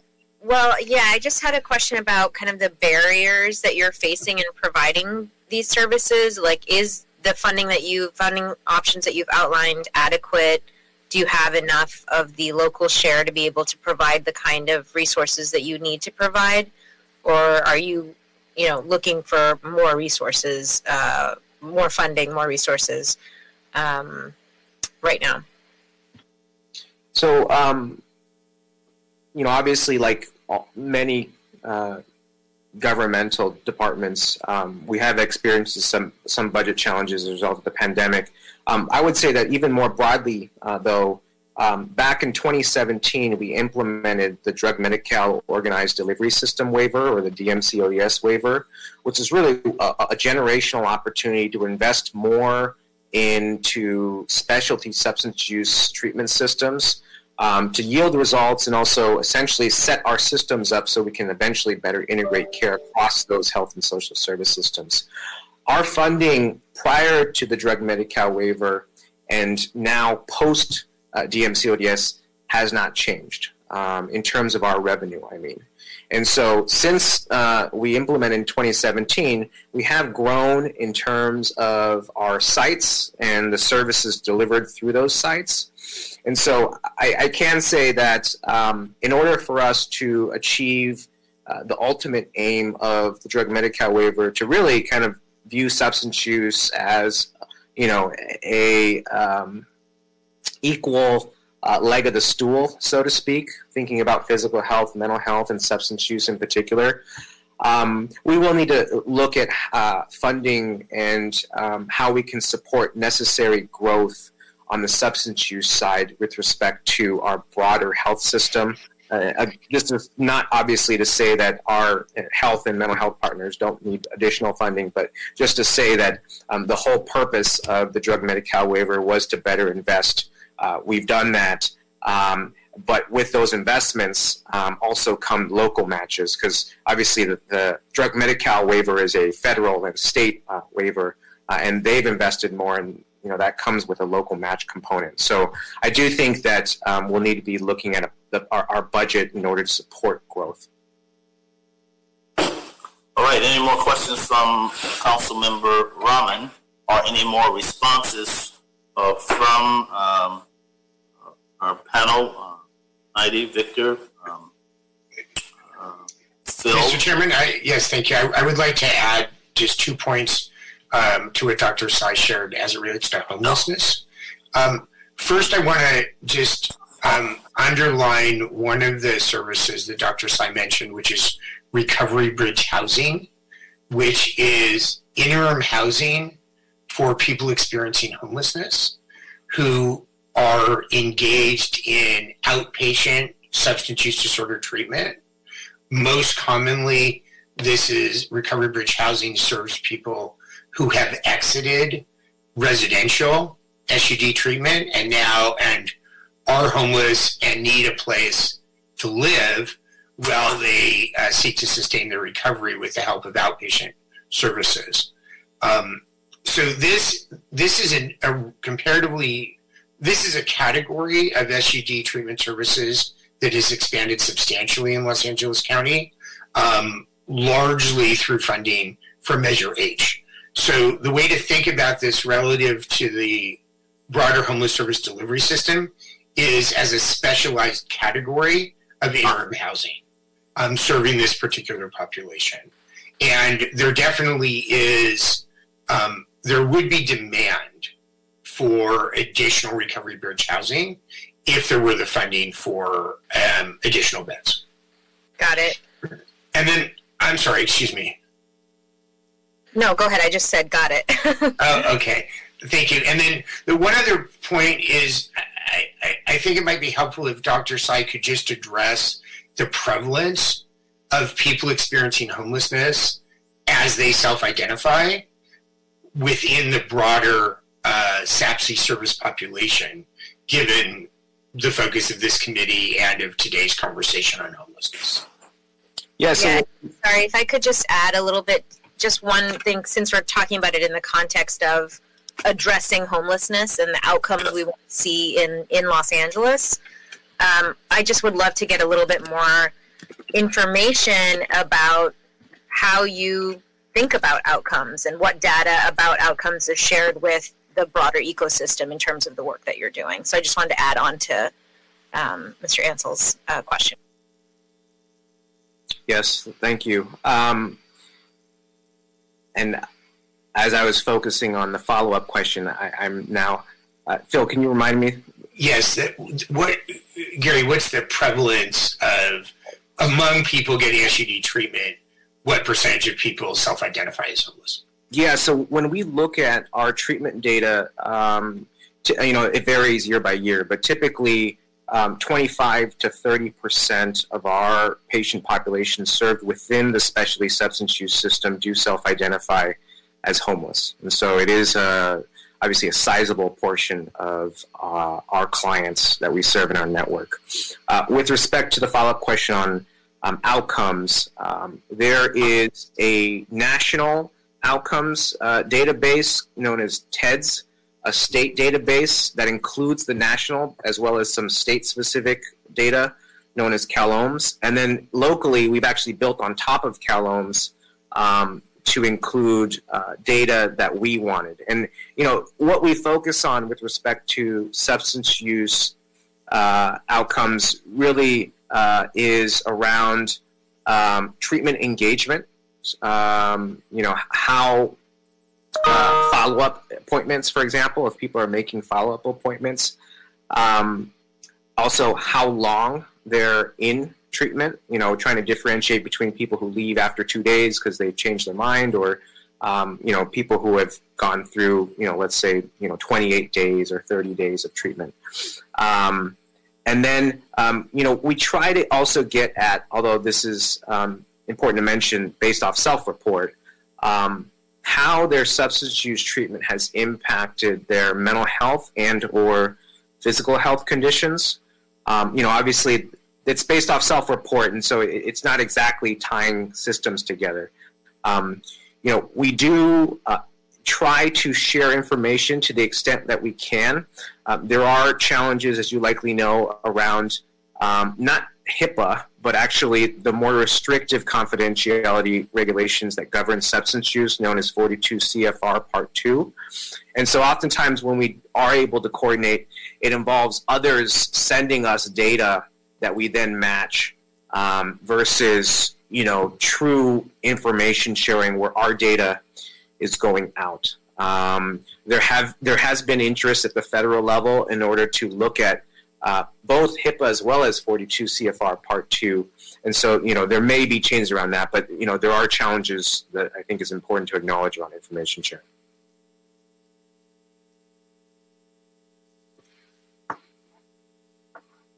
Yep, you're muted, Mr. Chair.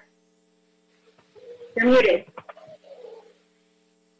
Uh, thank you. That's the nicest thing someone has said to me today. Nonetheless, um, um, I have one um, follow-up question, Mr. Chair, if I might, please. Yes, I want, I want to make sure that uh, Mr. Uh, uh, Buscaino is heard.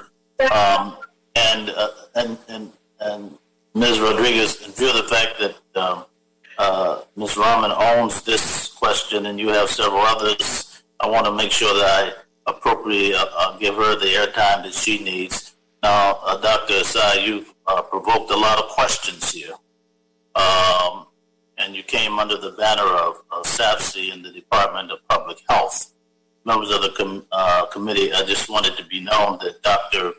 Uh, Tsai is a, a psychiatrist. Uh, therefore, I guess I need to say nothing more about the questions that you posed. Just, just tread lightly. Thank you so much. Who's next? Uh, I hate to do that to you, but I needed to make it sure that everybody knows co-occurring disorder specialist. Bill, you didn't tell us that. You just kind of walked it in under this committee, and here we are, uh, disclosing everything we know about ourselves before we even know it. All right, Mr. Buscaino, uh, the floor is yours. Ms. Raman, you're going to have an opportunity to wrap this up, and uh, Ms. Rodriguez, do what you do when you feel you need to do it. Thank you. Thank you, thank you, Mr. Chair, and thank Ms. Raman for elevating this conversation here. Um, this feels like Groundhog Day. Over the years, we have the, this the issue of drug addiction, drug use, particularly within the encampments, based on, on my knowledge and my experience and what I've seen firsthand on the ground in our um, encampments, um, our high-profile encampments. There's significant amount of drug use taking place in these encampments, and um, we have seen and experienced throughout the city of Los Angeles um, a lot of overdoses. Also, we have seen clearly that there are drug dealers who are preying among the most vulnerable living uh, in these encampments. Um, and I agree, Ms. Rama, we've got to be more, um, you know, uh, focus heavily on outcomes, outcome driven. And I believe this is a breakdown.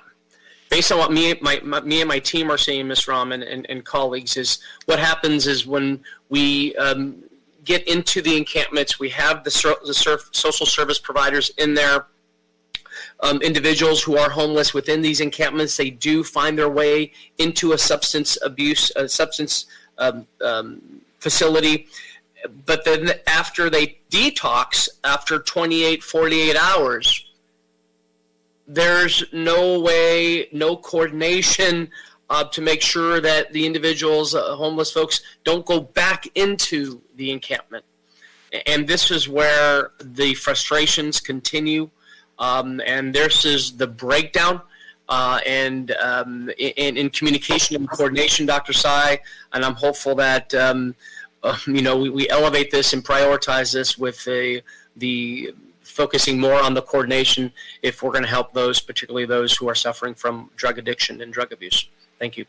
Let me weigh in here at this point. This is a, a key point. This is a part of the safety net expansion agenda that we must embrace.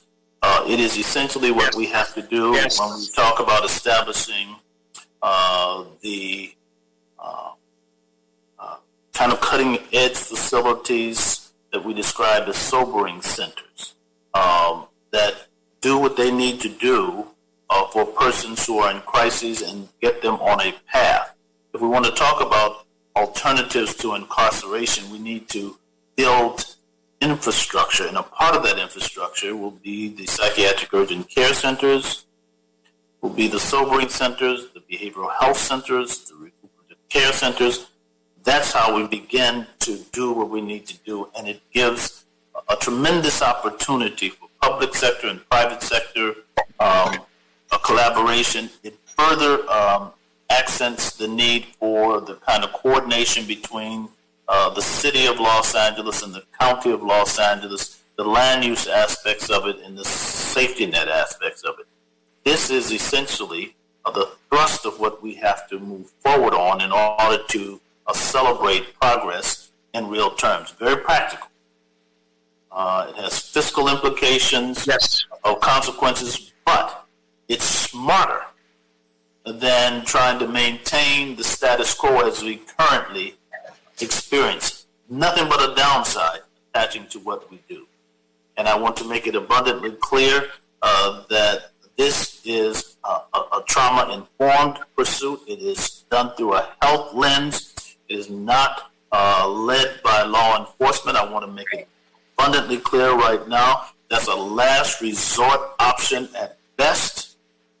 And we need to put first things first. That's why you see um, Dr. Tsai speaking the language that he does in the manner that he does.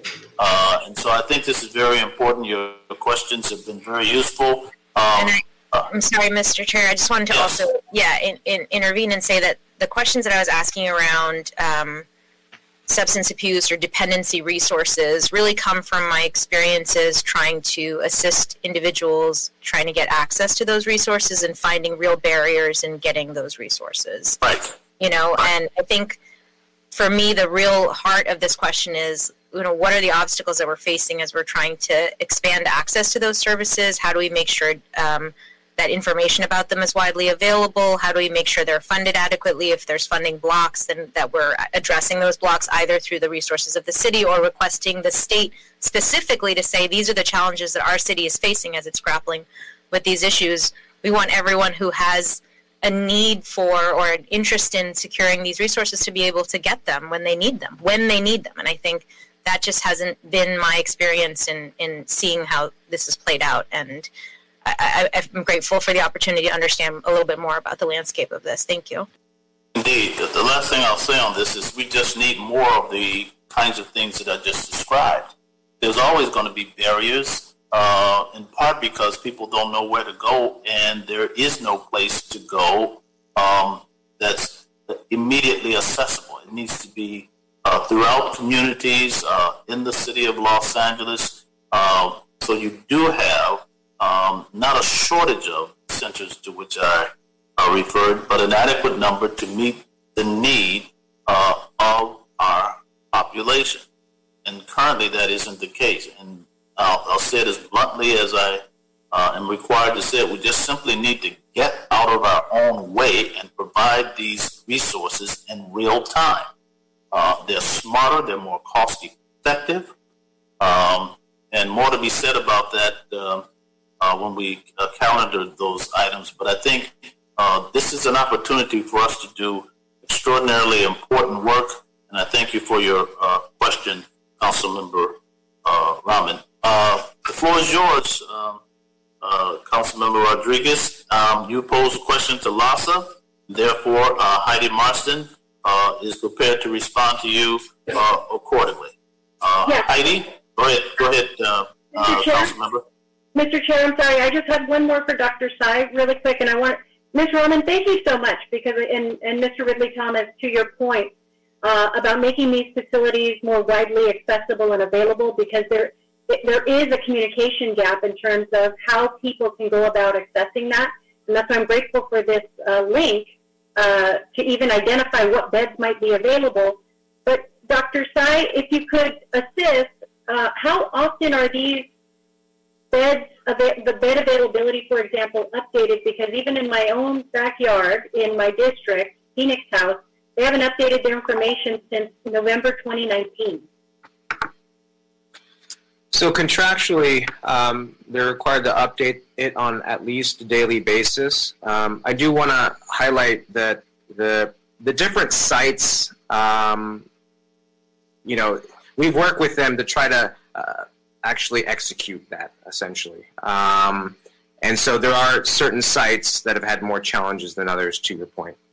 Okay, well, I, you know, this kind of goes back to, um, you know, uh, Ms. Raman, and just to underscore, and I'm so thankful, Mr. Ridley Thomas, for your uh, chairmanship of this committee, because it really is instrumental in our collaborative work with the county to have that accountability for the services that they're funded to provide. Because we don't have uh, the funds that come from the state or the federal government for these types of services.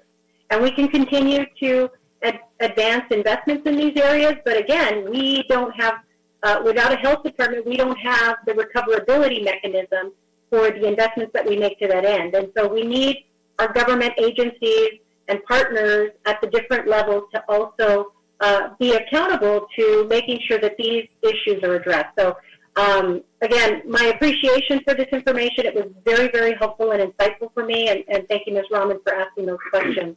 Uh, and thank you, sir. Yes, I uh, also want to make reference to uh, at least four different dashboards. Uh, the city has a dashboard, the county has a dashboard, um, LAHSA has a dashboard, and United Way has a dashboard that talks about uh, results, what's supposedly going on, and what's being accomplished, and they are publicly uh, accessible. Perhaps someone will take it upon themselves to drop those uh, links to those dashboard uh, in the chat. The point that I, I wish to make is uh, there's no replacement for transparency and accountability. Uh, so part of the committee's work, uh, Councilwoman Rodriguez, is to shine a light on the issue of accountability, uh, to push for more collaboration between the city and the county. I believe that can happen, and if it does happen, uh, I think we will find ourselves uh, doing this uh, uh, quite effectively. Now, Madam Clerk, if you can uh, transmit the, the links that I just referenced to the council file, that will also be helpful. Um, Ms. Marston, you want to respond to the concerns that we gave you from Ms. Rodriguez? Yes, absolutely. Good morning. Thanks for having me. And thank you, Councilmember Rodriguez, for your, your questions about interim housing and specifically availability of the beds. So just as framing, and it, it fits well into this broad conversation, um, there are many different funders of interim housing across the system, right? So LAHSA funds and operate some of those sites. The county, you heard from Gary about SAPC having some beds. Um, health services has some mental health. So there's a broad array of stakeholders already who are kind of working together to um, create this infrastructure of interim housing. Um, so we have, because of the complexity of that, we have a countywide matching team, we call it, at LAHSA, and their job is to manage referrals that come in to those specific beds. So a lot of the beds that we have, with the exception of like winter shelter beds, for example, that are really walk-up sites, um, many of our beds have requirements um, that you, you need to meet. So sometimes it's based on geography, sometimes mental health beds, right? You, you need some sort of mental health support be eligible for those beds. Health services has certain requirements. So our matchers take the information and the referrals that come in and, and work together with the county in partnership to match people to the right resource for them and to the right bed that's available. Um, but all that to say, we are also working collaboratively to bring together some sort of infrastructure that would give more real-time bed availability information um, that we know so many people are seeking. So um, that includes validating what our inventory is, uh, recognizing that not all of the inventory fits within LAHSA or the county. There's the privately funded shelters too, so we're getting our arms around all of that, and then creating a data infrastructure through our homeless management information system, HMIS, where providers will feed in the beds that are available from their sites. That will feed up into a broader portal and give us a sense that on a more real-time basis on what's available at any given time. Right now, that kind of happens in pockets based on funders. So all of that is underway um, and is certainly something that we see as important. Um, we're also providing technical assistance to our providers to make sure that the data is getting in because our data on what we can report out is only as good as the data coming in. So making sure they have the capacity on site as they're operating these to keep that updated. Um, a couple other things I wanted to note. There are a select group of Project Homekey sites. Um, some, some of our Homekey sites, as you know, are operating as interim housing initially.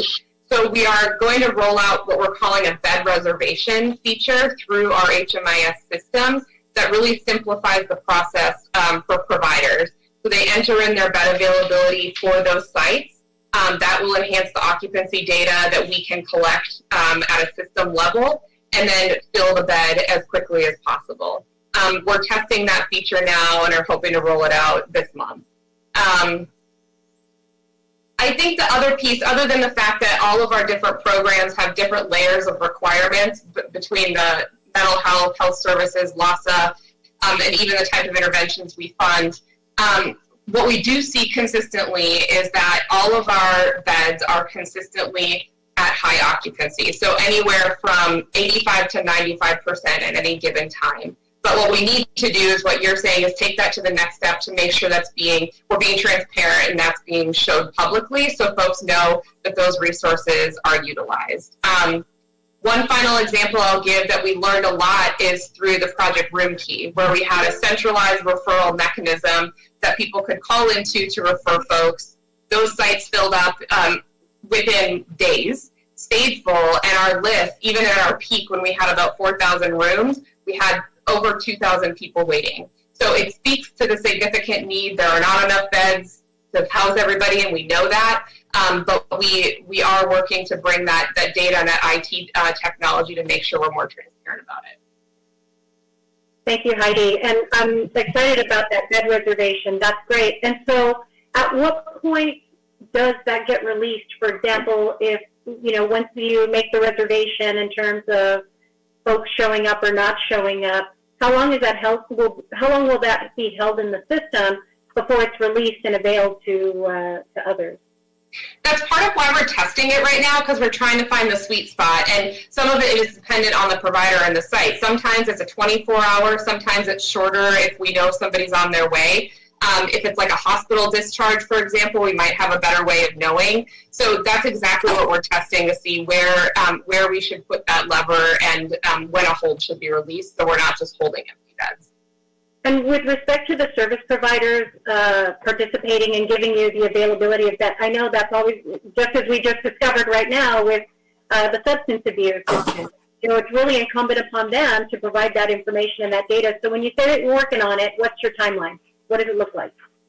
So it's ongoing. We've been doing it. We're going to continue. Um, we're going to test it with this because I think even with this bed reservation system, it's going to give us an idea of the kind of staffing that's needed. I'll tell you right now, at least from the LAHSA perspective, our interim housing sites, um, all of their capacity for staffing is going to managing the site itself, the people coming in and out, making sure the safety of the residents is upheld. So they don't have that capacity to be doing the data entry that's required. So part of what we're going to be looking at is what would that take? Is it another person that needs to be funded where their, their sole job is to just input that? Is it on the LAHSA side that we need to call providers multiple times a day to get that. We don't know what that looks like yet, um, so this will help inform where that goes. So the next month or two? I mean, what in terms of? Yeah, we're testing in March, so I would say, you know, by spring we'll have at least some data to share about how that's going and whether we think it could be scaled. Okay. All right. Thank you. All right, thank you. Uh, Mr. Buscaino, you had a couple of questions, and we have those who are prepared to respond to them. We begin with uh, Ann Sewill uh, addressing Mr. Buscaino's questions, as well as Heidi Marston. Okay? Sure. Uh, good morning, um, council member. And, uh, so, uh, Councilmember know, I'll just go ahead and, and read your question unless you want to jump in. But um, okay, so um, Go ahead and read it so he'll remember it. Uh, uh, I got it. Go ahead. um, absolutely. Happy to do that. So uh, the first part was how do we ensure that the Bureau of Engineering and other city entities are not putting up roadblocks that prevent more private sector collaboration? Um, and then the second part, how should the city engage and leverage private sector investments such as um, urban awnings to build housing?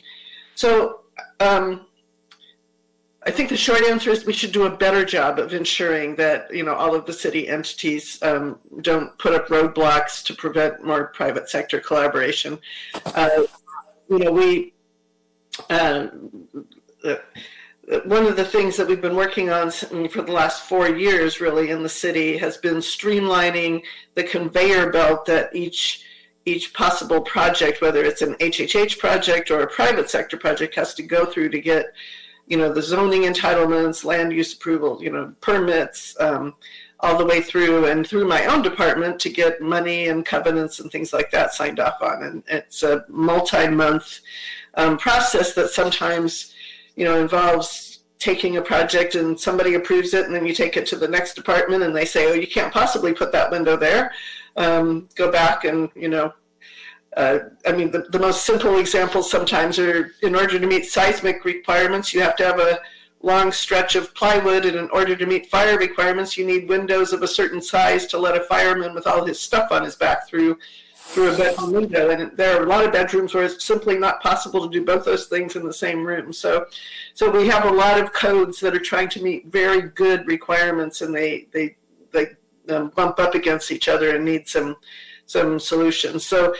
Um, recently, you know, about uh, two weeks ago, the uh, general managers of housing planning um, and uh, building and safety, as well as the mayor's um, housing executive officer, met to with about 15 different developers to start pulling out those things. We'd already done quite a bit of streamlining work with the supportive housing ordinance and the um, motel conversion ordinance, and how do we, you know, go further in removing those those roadblocks and um, so that group has already come up with a huge laundry list of things that it's dividing into quick changes and higher impact changes that might require ordinances to bring to you or legislation to bring to um, Sacramento.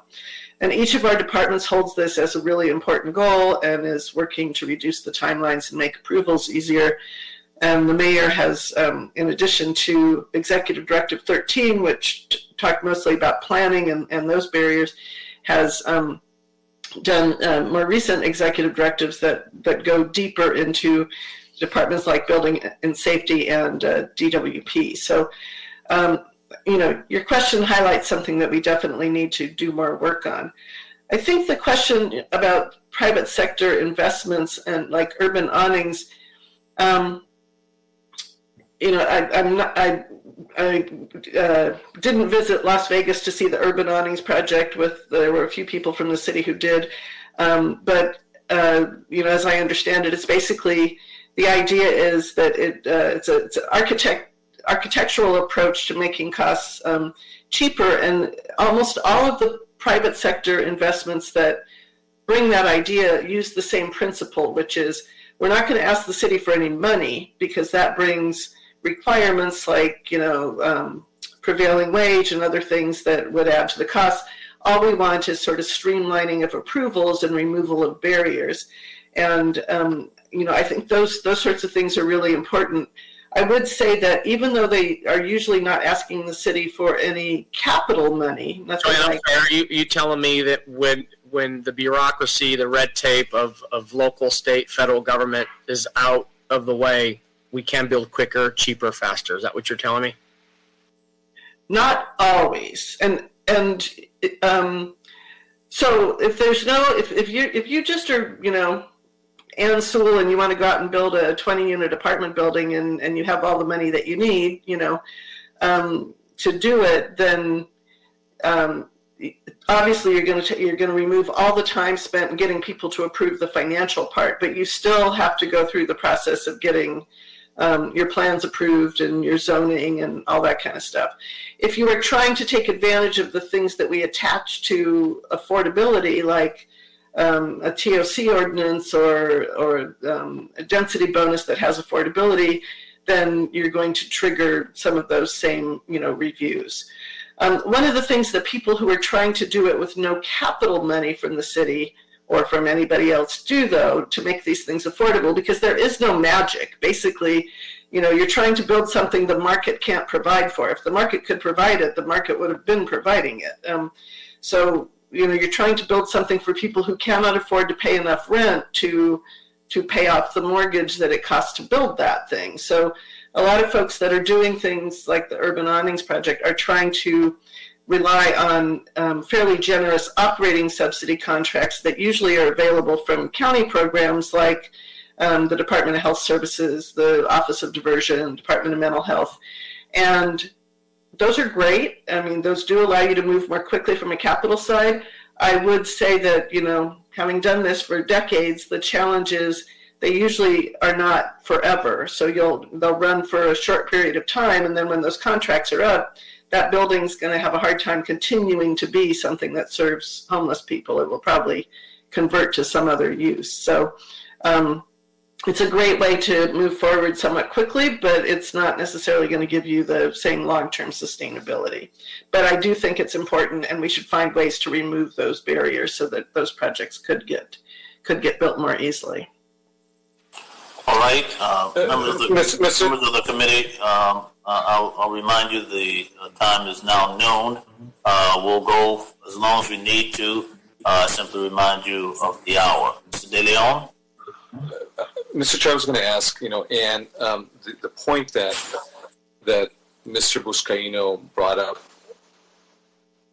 in, in general, the, the concept of innovation and, and creativity and efficiency and you know whether you know private sector folks you know can figure out you know how to build a, a, a more efficient mousetrap, a better light bulb, if you will. Um, isn't that a, isn't that a good thing? And then when we talk about the 50-year covenants and what's the use of that physical asset post, we as policymakers uh, don't we sort of kind of decide that as well too? Because send it to me early this morning. Mr. Chair, you're you're unmuted, sir. I guess what I want to say is the decades of Stop manipulating my machine, uh, Mr. Buscaino. Thank you so much. it wasn't me, honest. The, the, the decades of the, the, the, current you know housing paradigm that we have, um, I, I, just don't think, by any objective measure, I think anyone would agree that it, it just doesn't work, and that we can we can look at all the, the, the very fancy PowerPoint decks that are highly utilized, you know, here. And all you have to do is look out the window and you look at the crises. And there's like a, a disconnection between the PowerPoint decks that I've witnessed numerously and looking outside the window or going into Skid Row.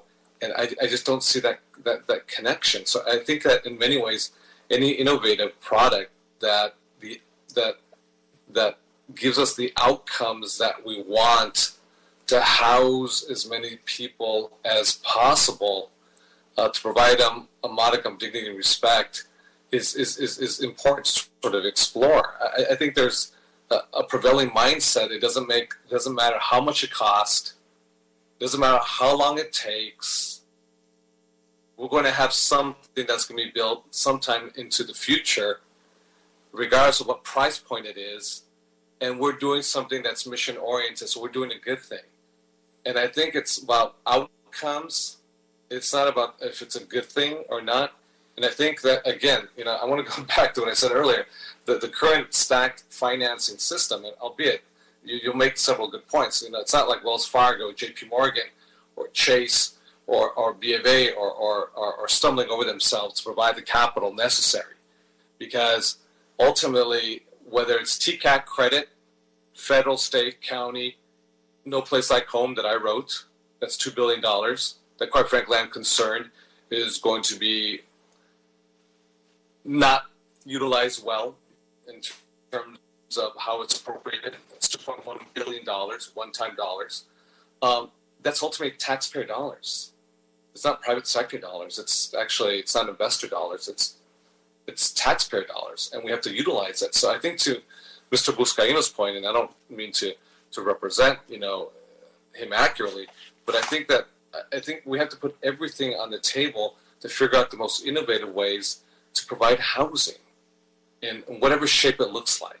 And, you know, I, I think that it's, it's worth exploring, you know, and, you know, all the innovative products. And to your point, you know, we don't know what happens in 50 years, you know, and but we can work together and figure out, you know, how's that fixed asset stay, you know, mission oriented for those at the lowest economic strata so someone can always enjoy, have access to that type of, of, of, of housing you know, in, in, in perpetuity. And how we deal with that, I think, is, is just important. So I, I just want to say that, you know, in, in short, we, we got to really explore everything and, and, and, anything and everything because I think the status quo is, is not working. I think this works for smaller municipalities like a Pasadena, uh, perhaps like a Culver City, you know, uh, where you have a lot of room to play with. The magnitude of the crisis is so huge in LA that um, our options are very limited, and we have to really explore uh, innovative, you know, ways of, of financing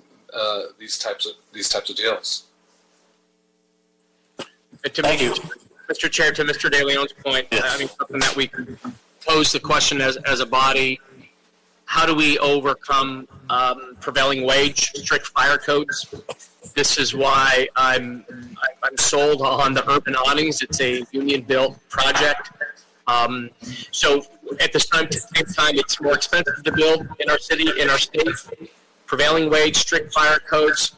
But now, members, we're in a bizarre position where what we're seeing, we're seeing a, record low of structure fires, um, while we're seeing a record high of, uh, of sidewalk deaths and encampment fires. Where's a priority?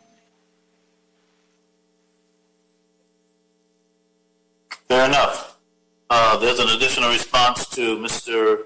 Uh, Buscaino's uh, initial question. Uh, Ms. Marston, did you want to uh, seek to respond to him? Yes, thank you. And I'm actually going to turn it to Amy Perkins, who's our Director of Housing Central Command for LAHSA. All right. Thank you so much, Councilman. So, yes. yeah, the, the question was how does LAHSA's Housing Central Command share information regarding unit availability and vacancies? So, Housing Central Command organizes our permanent supportive housing inventory in a system that we call RMS, Resource Management System. So, within RMS, we include all of the permanent supportive housing units that we track, and then we track the tenant based vouchers. So, those are like the you, know, a classically called Section 8 voucher that someone's walking around with to try to use in fair market housing. So we track those resources. At this point, we have um, almost 12,000 of those in RMS. So the way that the, the vacancies get out into the community is when, let's take, for example, a PSH building. So a permanent supportive housing building gets a vacancy. They go into that vacancy into the resource management system. And then those units are matched. They're matched through our coordinated entry system. And so a SPA level matcher would get the information there's a vacancy. And then they uh, will find a client who meets the eligibility requirements and they will match the client to that unit. They'll notify their point of contact and the whole process is started. So the work of Housing Central Command is is is multiple. Uh, we have multiple goals. One, we're trying to make sure that we understand exactly what is coming along in the pipeline. We know exactly our existing inventory of PSH housing, whether that be project based, the units, or the tenant based resources. And then additionally, we have our lease up program that is operated by PATH and funded by LAHSA. And they are the people that are going out to recruit new fair market landlords. And then they, um, they have their lease up program where they put all of these fair market rent units and then case managers can go into the lease up program and say, oh, here are different units where a landlord might accept this tenant based voucher or they might accept this rapid rehousing subsidy. So there's really two different places where we're collecting information on the units that our clients can use.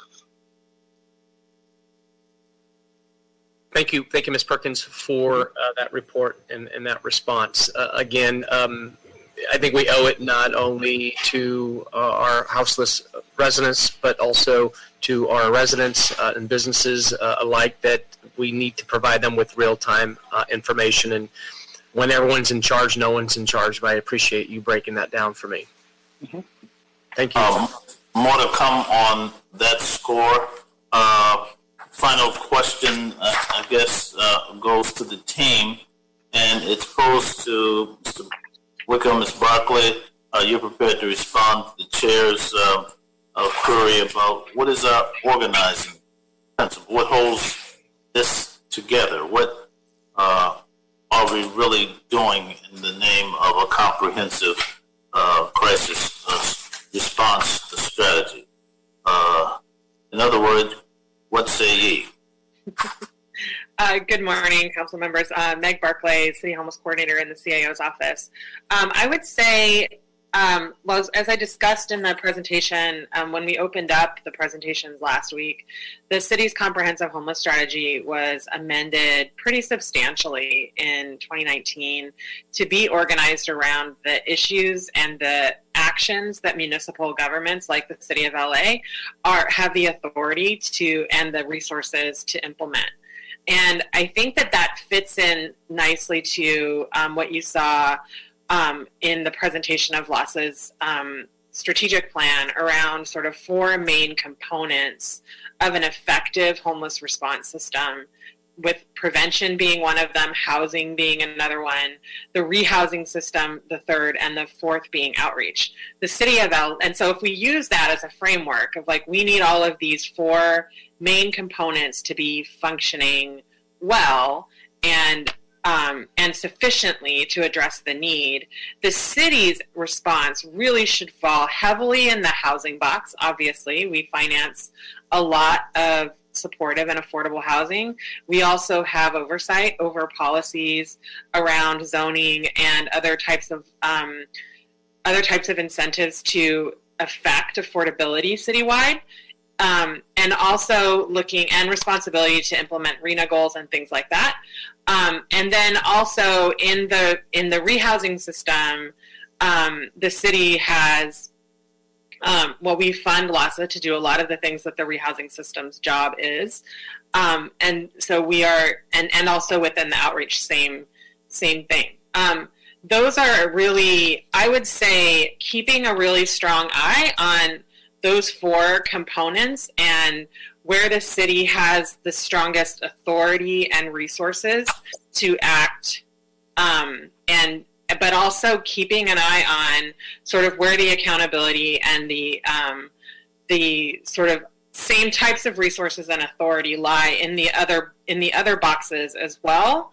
Um, it's been a really helpful way for me to think about sort of um, you know how these things work or should work. I think as a municipal government, um, you know, obviously people become homeless for a lot of different reasons. Um, and when they're homeless on the streets of the city of LA, um, the especially city council government is held most accountable for the impacts of that. But there are a lot of upstream things that happen that result in the situation that we have now that are falling out, fall in boxes that are not really where the city has funding or authority or a mandate to act. And so it's helpful for me to think about it within those um, within those four sort of components of an effective um, homelessness response system. So that's sort of where I was um, and I think John was going to talk some about governance and other um, issues that are kind of happening right now. Yeah, please do so, um. Wickham. But I, I want to say. Barclay, the, the question that I will uh, continue to pose is the following. Uh, and it's in part designed to be somewhat provocative, but um, what does alignment really look like? Um, if there are outcomes to be achieved by more collaboration between the city and the county, how does that get spelled out? How does that get operationalized? We came forth in 2015 with um, a joint set of recommendations, city and county, same day, symbolizing uh, collaboration. Uh, but there is a need at some point to drill down into those respective recommendations and ask the question of alignment. It goes to the question of how effective we are really being in terms of uh, the work uh, around homelessness. Uh, John Wickham, John Wickham, the floor is yours. Um, uh, let me see what you have to say for yourself, sir. Well, it'd be great if we could hear you. You're on mute, John. You're sounding good so far. I've been on mute for so long. Good afternoon, members. Um, so, uh, to your point, Councilman, I, I, and to to what Meg had described, I think there was a lot of work going on in a homelessness response system without actually understanding what the structure of it was. And the comprehensive homeless uh, uh, efforts by the county and the city were a start to put some structure onto that system. The home, the the strategic planning that LAHSA did, uh, to, to my mind, was an extraordinary step in actually synthesizing the boxes very well. And to, to me, showed, Meg used the word upstream. To me, it crystallized in my mind this, this metaphor of a, a river with a really big waterfall on it. And we've got all of our resources down at the base of the waterfall. And we need to do more work upstream before people go over the waterfall and before maybe even they get into the river, right? One of the things that has um, come along in the in the last year, the city, the county, and the LAHSA Commission are all evaluating LAHSA governance. And we're doing this individually as agencies as well as collaboratively so that we can all work together to come to a, a clear understanding of how the system works from a governance standpoint. There have been a lot of interviews, a lot of conversations on this subject matter. The LAHSA Commission, I believe, is hearing a report tomorrow on their findings. The county will be releasing their report shortly, and URCLA will be re- releasing a report as well. And embedded into that are, our options for and alternatives for the for um, the best way to govern this system. And I think the critical part in there is this question of alignment. I think all of the parties are seeing that it's it's extremely important to figure out where the different lanes are, how everybody is aligned in those lanes to be most effective, and that we don't have that um, as clearly understood as we should. And I think your your meeting today goes to show that when Dr. Tsai was discussing um, you know, substance abuse programs that we have. Clearly, there's a lot of work going on. There needs to be better alignment. There needs to be um, better sharing of information so that uh, we can um, get this get this system tuned up. Uh, thank you very much for uh, those remarks, uh, members of the committee. Uh, we gone through each member's questions and we've gotten responses. Uh, I do not wish to suggest that the responses are exhaustive or conclusive uh, so as to imply that there are other questions that uh, shouldn't be posed as we uh, go forward in our deliberations over the, the balance of the work we have to do.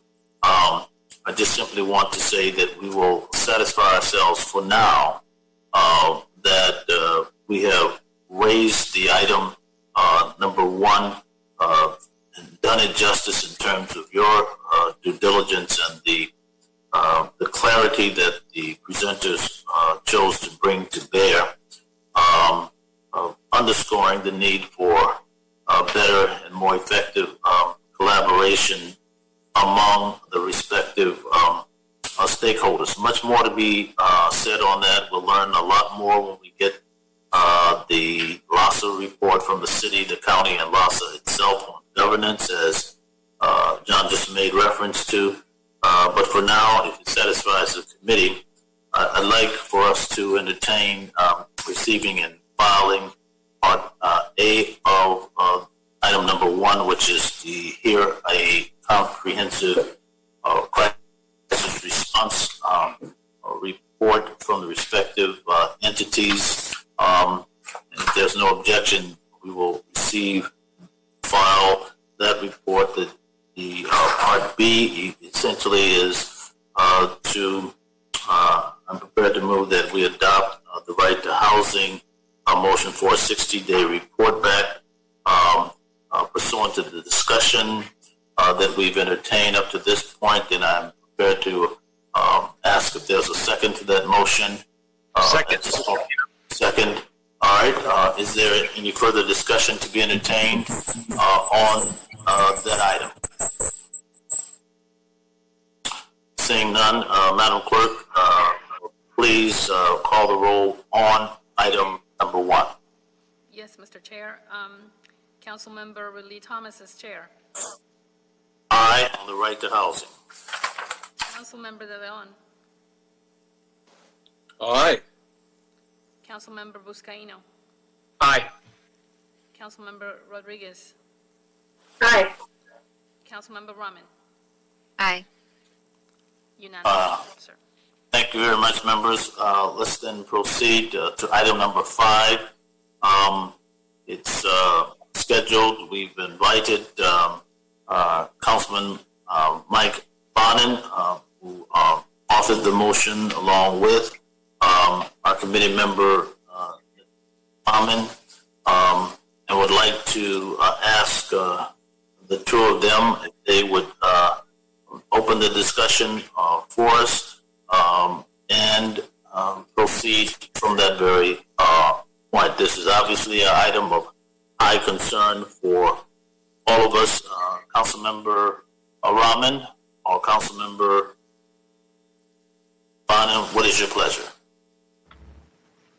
Uh, th- thanks, Najib. Thank you, Mr. Chair. Uh, thank you uh, uh, to my co-author, uh, Councilmember Raman. Thanks to the committee for having me. I've been listening to most of the, the committee meeting this morning, and it's been most informative.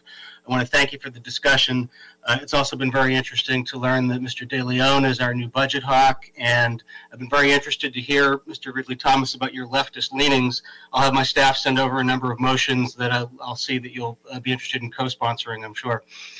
Appreciate your encouragement. Thank you so much. Uh, so, uh, uh, thanks for, for hearing this item today at your first meeting since it was uh, submitted. The item today, as, as everybody knows, is about uh, taking advantage of the incredible uh, and unique opportunity that the Biden administration has given us to, to move thousands, if not tens of thousands, of people off the street. Uh, as we have learned throughout this pandemic, uh, the, the, the method that we have often relied upon for uh, emergency housing, uh, uh, congregate shelters, does not work for this moment, does not work for this crisis. Uh, and we have had the opportunity, which we have used to a certain extent since the beginning of the pandemic, to use Project Roomkey and to move people into motels and hotel rooms which have been underutilized. Uh, helping save those those buildings, helping save those operations, and addressing both the public health crisis and the moral crisis of homelessness.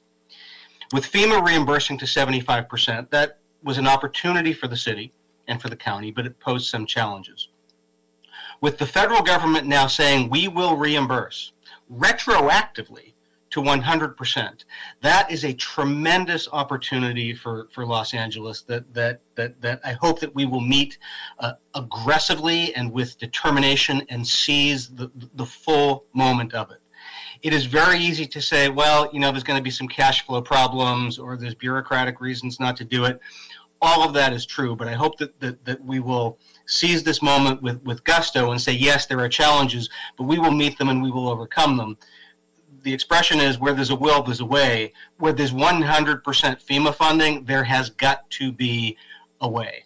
And what we ask for in this motion is for uh, the city and, and hopefully the county, I know the county is considering this, to, to move aggressively on this and to seize the, the maximum opportunity from this moment and use as many hotel and motel rooms uh, as possible. There have been things that have uh, hobbled us in the past. Part of them was money. Part of them is we didn't want to be dealing with some of the smaller uh, uh hotels and motels, and some of them where we didn't want to be dealing with the bigger uh, hotels. Uh, and I think we have an opportunity now to say to every operator in Los Angeles, we want to use this program uh, with you and we want to make this work. Uh, I would even suggest that we may want to come up with a master uh, template to at least start discussions, not approach each hotel or motel individually, not wait for them to call us, but to say to the city of Los Angeles, here's what we can do anybody interested, let's talk. Here's our starting point.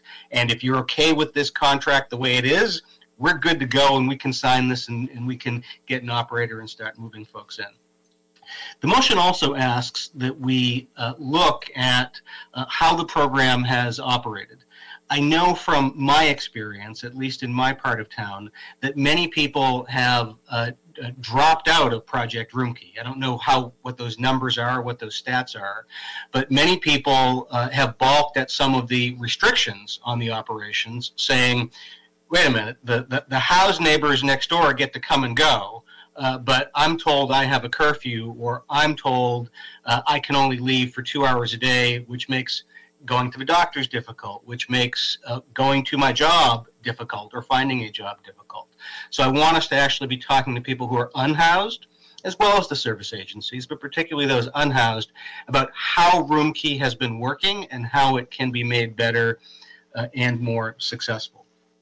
And, and the other thing this motion does, and it's been the, the more controversial element of it, is it, it asks city attorney to tell us what our ability is to, to commandeer hotels and motels. Uh, uh, if we have the ability, uh, and we are not getting enough opportunity from, from, from those who are willing. We need to have the tough conversations about whether or not we need to be uh, looking at, at seizing for the duration of this crisis under the emergency powers granted through this public health crisis, uh, uh, seizing some of, of, of those hotels or motels and using them. I have spoken before that I think some of the first places we should look are those hotels that have benefited from public benefit or from public subsidy or public investment uh, in the past. There have been uh, a, a, detailed legal memo from Munger, Tolles, and Olson, um, which has uh, explained the city's ability to do this under these circumstances compensating these hotels, of course. Uh, and the city of San Francisco has weighed in on this as well. Their city attorney has opined that they have the authority to, to do this as well. So this asks our city attorney to do that for us. Uh, we've seen the city attorney act very expeditiously when we've had uh, uh requests from certain council members to reconsider revisions to, to 4118 or, or, or 5611. Uh, we would like to get as, as urgent and as quick an analysis from city attorney so we know what our maximum ability is uh, so we can seize this. Uh, Mr. Chairman, you have you've said most recently we we need to be meeting this crisis by by, by acting uh, faster and acting more aggressively and acting smarter. And this opportunity presented to us from the Biden administration for 100% reimbursement, retroactive, and going to at least uh, September is a huge opportunity and one we hope we can seize. And I thank you for your time and consideration. Thank you, Mr. Bond. Ms. Raman? Um, you know, I think that was a, that was a great um, summary of of the spirit behind this motion, and and um, I'm really grateful to um, Councilmember Bonin for being here and for representing um, this position so eloquently. I just wanted to just underscore three quick things. One is just amb- being ambitious at this moment. I think a lot of people are talking about Roomkey right now, but I hear really different numbers. And I want to really push us to be as ambitious as possible. Like I think I, I've heard from the city, and I'm really excited that Mayor Garcetti is so excited about you know not just maintaining our existing numbers of rooms, but adding many more rooms. But I've heard the word hundreds, and I really want to think about thousands, thousands of hotel rooms, because I do think we have the opportunity to do that, given that resources through the FEMA reimbursement are not an issue right now. Um, I also want to underscore that word urgency. I mean, this, you know, I know that this is, um, I'm learning that the council uh, moves slowly and that the processes through which we make these decisions are sometimes very cumbersome and slow. But I just want to say that, you know, September gives us eight months of runway right now, right? And every week that we wait to expand this program is a week that we take away from those eight months.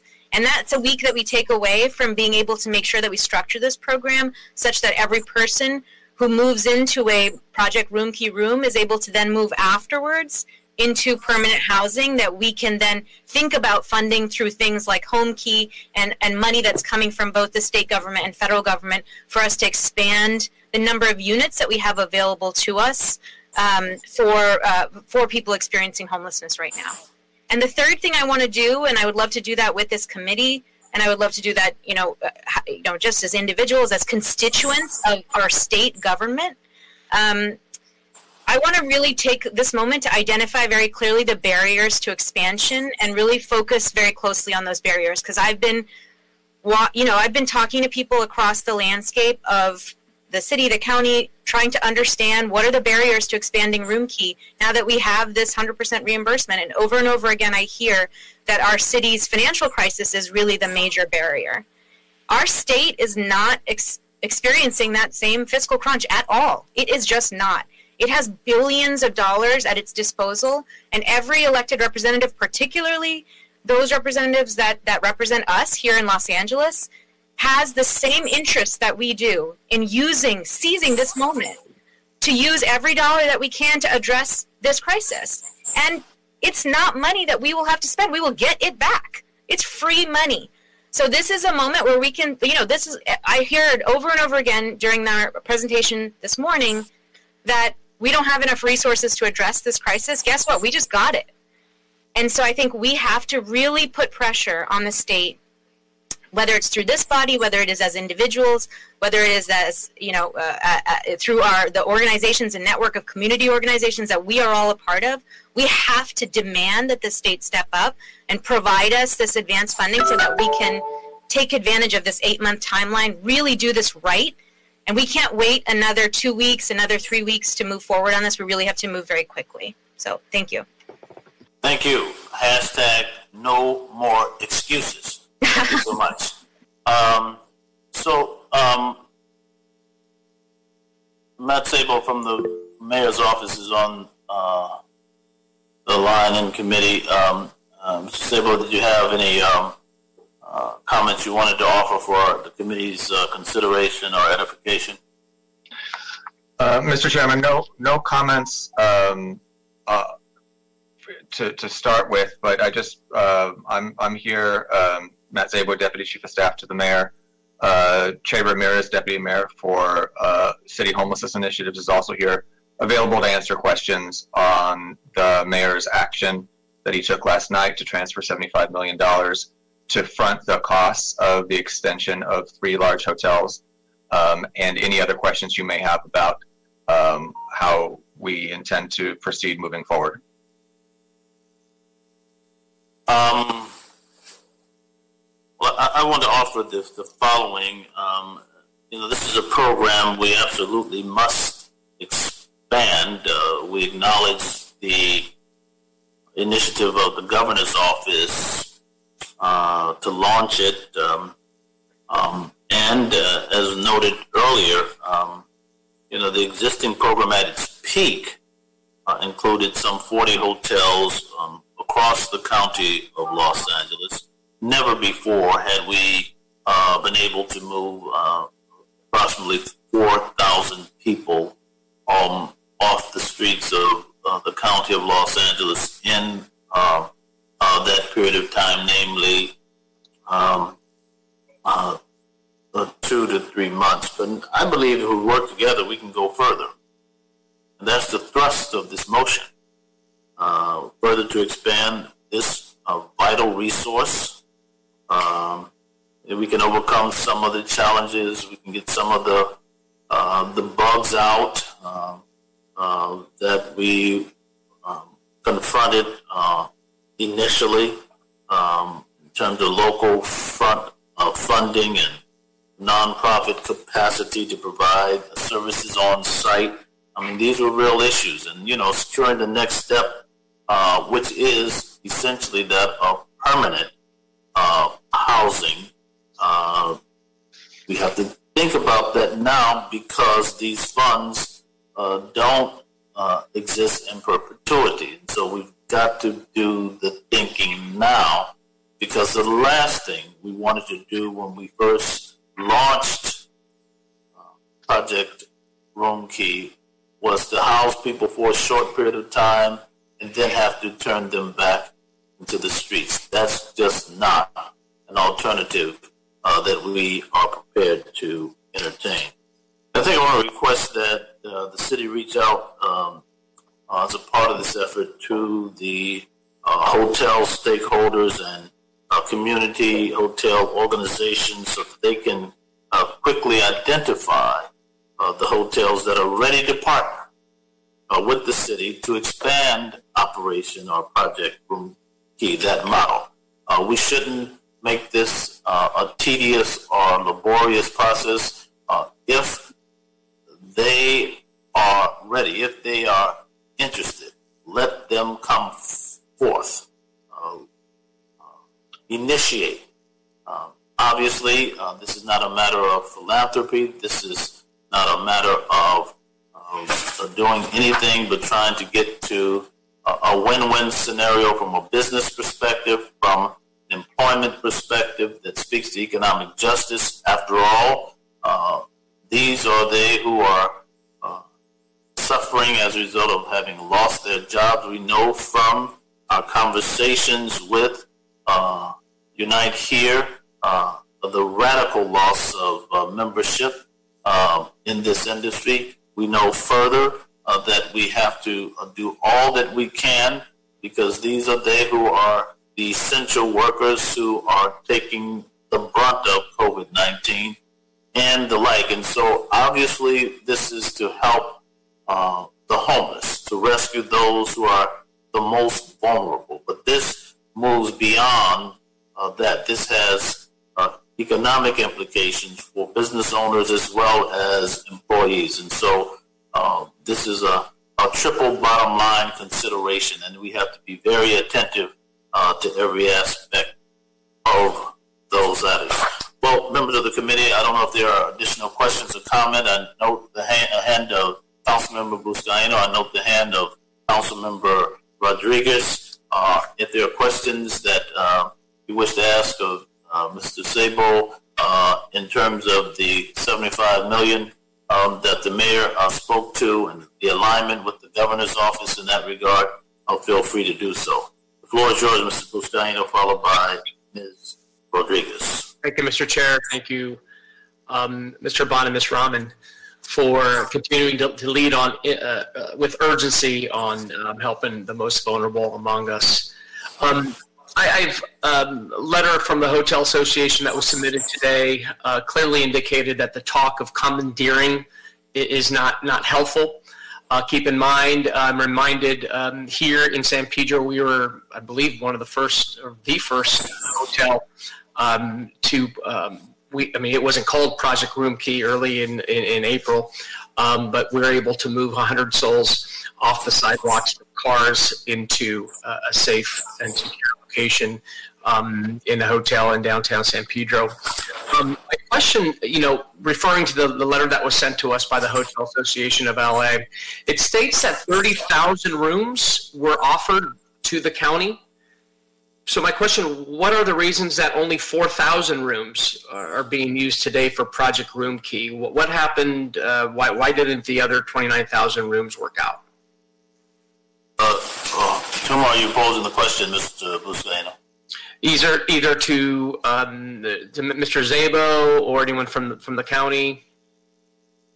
Uh, I don't know that there's anyone, uh, um, on the county, from the county on the line still. Uh, Meg, Meg, maybe?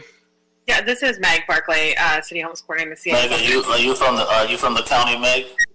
No, I'm not. Sorry. I was, Go right ahead. the city and the county, though, did work together in the ramping up of Roomkey, especially as it related to coordinating around hotels that were located in the city of LA. I'm I'm not entirely I'm not familiar with the original offer of thirty thousand rooms. I actually that's I wasn't aware of that at the time. I just know that a lot of the county hotels were smaller, like less than way less than hundred rooms, and it may have just been a a, um, a matter of, of they got as many of those hotels under contract as they could until it looked like it was going to be Well, we can, I can just tell you, it's not like you can snap your finger and this happened. There was a lot of resistance.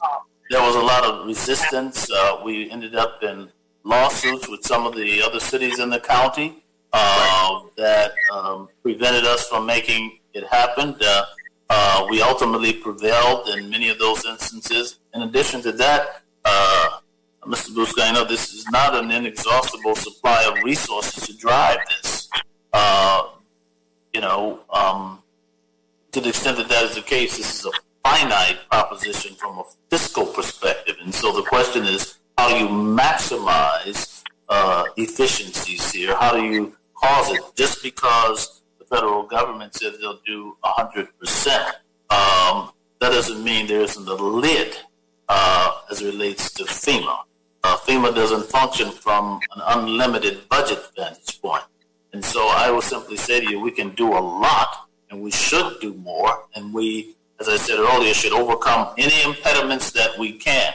But I don't think we ought to be under the mistaken impression that um, uh, this is a lemon, a bottomless uh, supply of resources. But we ought to run hard and we ought to run fast. Sorry, can I just can I just intervene really quickly? Just from the reports that came out, um, I think from uh, Councilmember Bonin and Marqueece Harris Dawson's request to ask some of the hotels why they couldn't participate, and from some of the analyses that came out of the county. I think a big part of why hotels weren't able to participate was a rule that you had to have over 100 rooms. That really limited a lot of participation. I think that was a result of concerns about being able to manage a lot of smaller sites. But in, I think, in talking to some of the service providers, that doesn't seem to be as much of a concern anymore. Anymore, so I think right. taking away that limitation would be a very, very smart thing in expanding the number of hotel rooms that are available.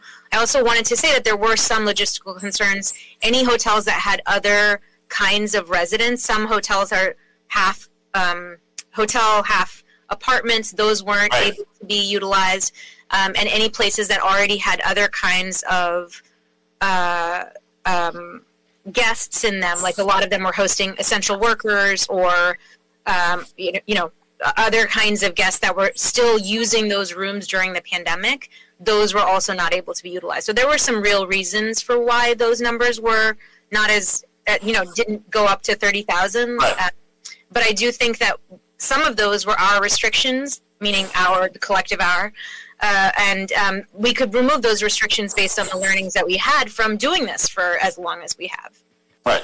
I would just point out though we the I, we were the the prioritization of hotels that had 100 rooms or more was really also around making sure that we could get as much bang for our um, you know work time staff time buck um, we got i mean at the end with all of the hotels that the city contracted we ended up with almost at least a third of the inventory and of the countywide inventory in six hotels um, and you know that contracts, individ- the occupancy contracts are pretty much the same kind of level of of oversight and work, no matter how many rooms there are in the hotel. So we were trying to get as many rooms with the with um, with the effort that we had to to put towards this. So I think that there's some looking at economies of scale really worked well for the cities um, for the city sponsored program.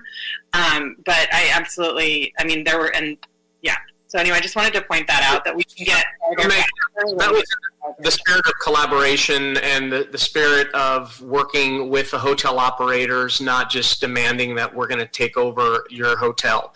And, and maybe, uh, I mean, did the city or county agree to indemnify or hold harmless hotel owners? Because that could possibly be the reason why there wasn't more participation.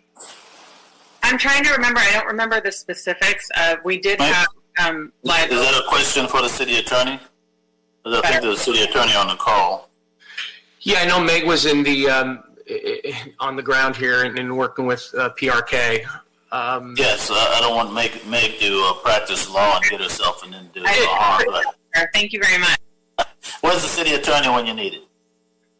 Are you on the line? In the room. I had a note that said you were showing He, up. he's on. He's on, Mr. Chair. Uh, PJ, I think you have to unmute. Good, good, good, good afternoon, Mr. Chair. Yes, uh, yes good, good afternoon, Mr. Chair and, and uh, members of the committee.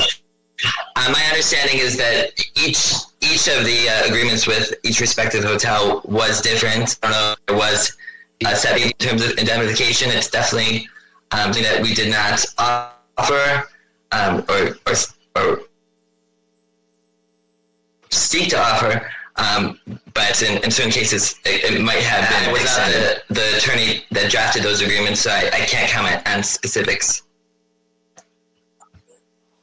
All right, I think it's important to know what impediments there may have been because we wish not to be uh, beset by them in this instance. I want to iron out all the difficulties. All right?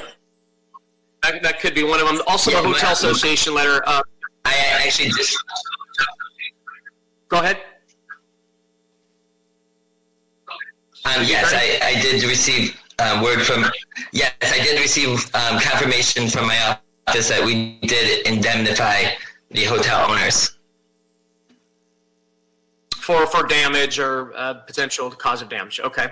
The uh, in many cases, the county, uh, according to the hotel association letter, that the county had not had enough medical and mental health professionals to support the thousands of individuals the county and city of LA wanted to engage. Um, anyone from LAHSA can respond to that on the call, on the on the on the social services piece.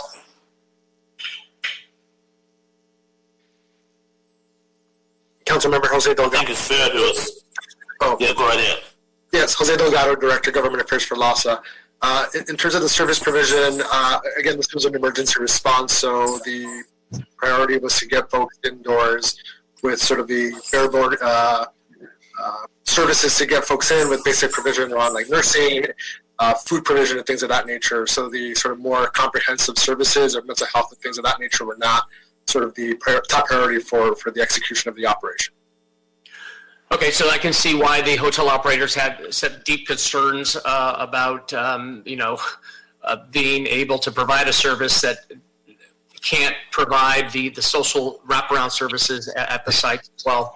Uh, City Attorney on the call, um, your boss issued a public report dated 2-10-21 that states, under the mayor's emergency powers, he has the authority to commandeer property for the protection of life and bind the city to the fair market value. Is that correct?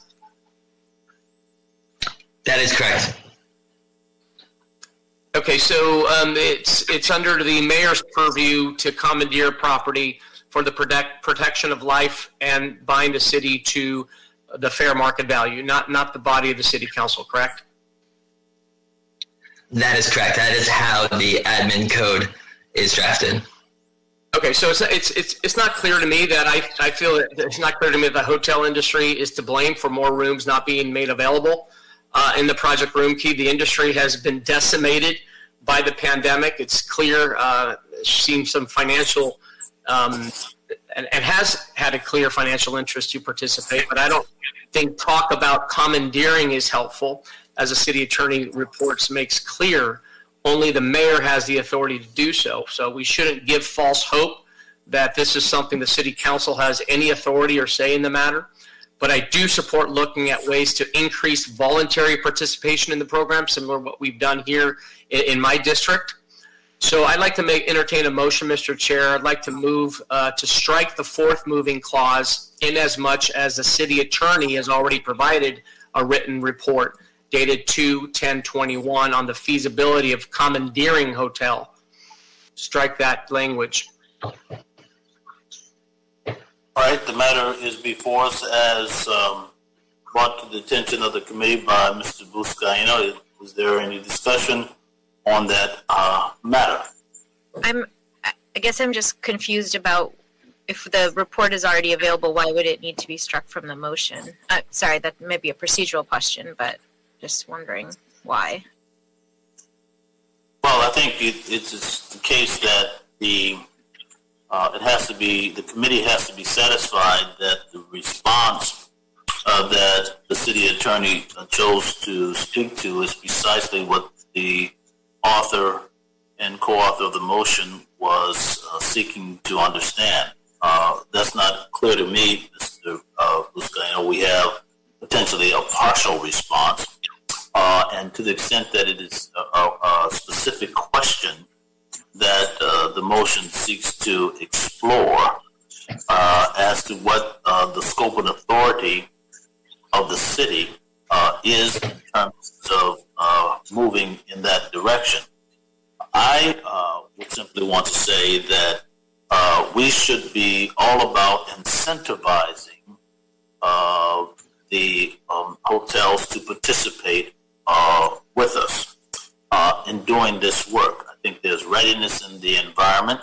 Uh, if it's the will of the body uh, to explore uh, compelling uh, an entity to participate, um, it's reasonable uh, perhaps to know the extent, uh, the scope, the substance of our capacity to do so. Um, and so, in response to the motion, I think the city attorney is obliged to be spot on in terms of what uh, that office's best knowledge is of what we can or cannot do. I do not believe, uh, at least for uh, all members of the committee, uh, it is to be thought that uh, we should uh, be in the business of commandeering anyone's assets. The, the motion itself asks for an explanation of our capacity to do that. It is not a motion that essentially says we shall uh, do so. And I think it is reasonable to uh, at least be knowledgeable as to what our authority is. You began to parse that, Mr. Buscaino, by saying it is not the council uh, that can even touch it, um, and uh, it lies squarely within the purview of the mayor's office. I think it would be helpful for all that to be in the body of a response uh, pursuant to this motion, without prejudice. Uh, and that's essentially how I think it would be appropriate to dispose of this. All right, um, Mr. Buscaino, uh, any further comments on that?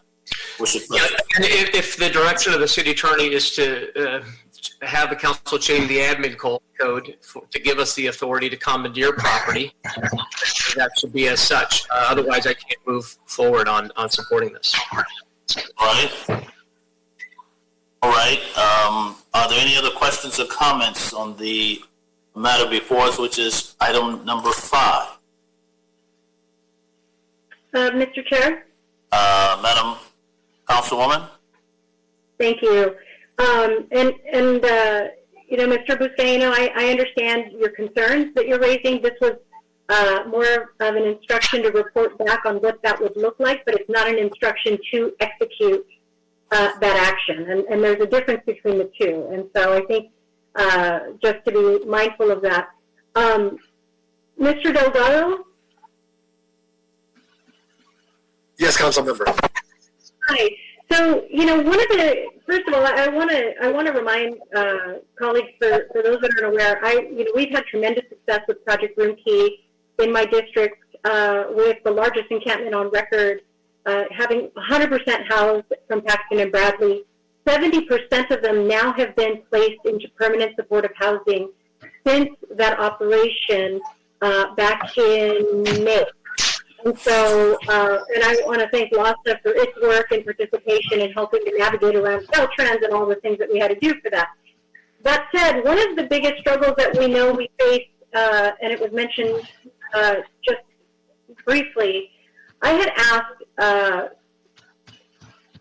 the CAO when we were talking about what is the what is the sweet spot in terms of the, the maximum capacity uh, service providers can handle to help manage a project Roomkey facility. So how, what is the maximum number of rooms? What is the minimum number of rooms? Can I, can I get that for the record, please? Uh, council member, uh, that that would vary depending on the service provider. Uh, as you know, every service provider across the county uh, has a, a, variety of different workloads that they're currently doing, and so uh, Project Roomkey was just sort of a, an emergency response, and so uh, it's safe to say that everyone sprung into action and pitched in wherever they could. it is it is an understatement to say that folks were stretched thin. And so every provider, uh, based on the different service planning area across the county, would have that capacity.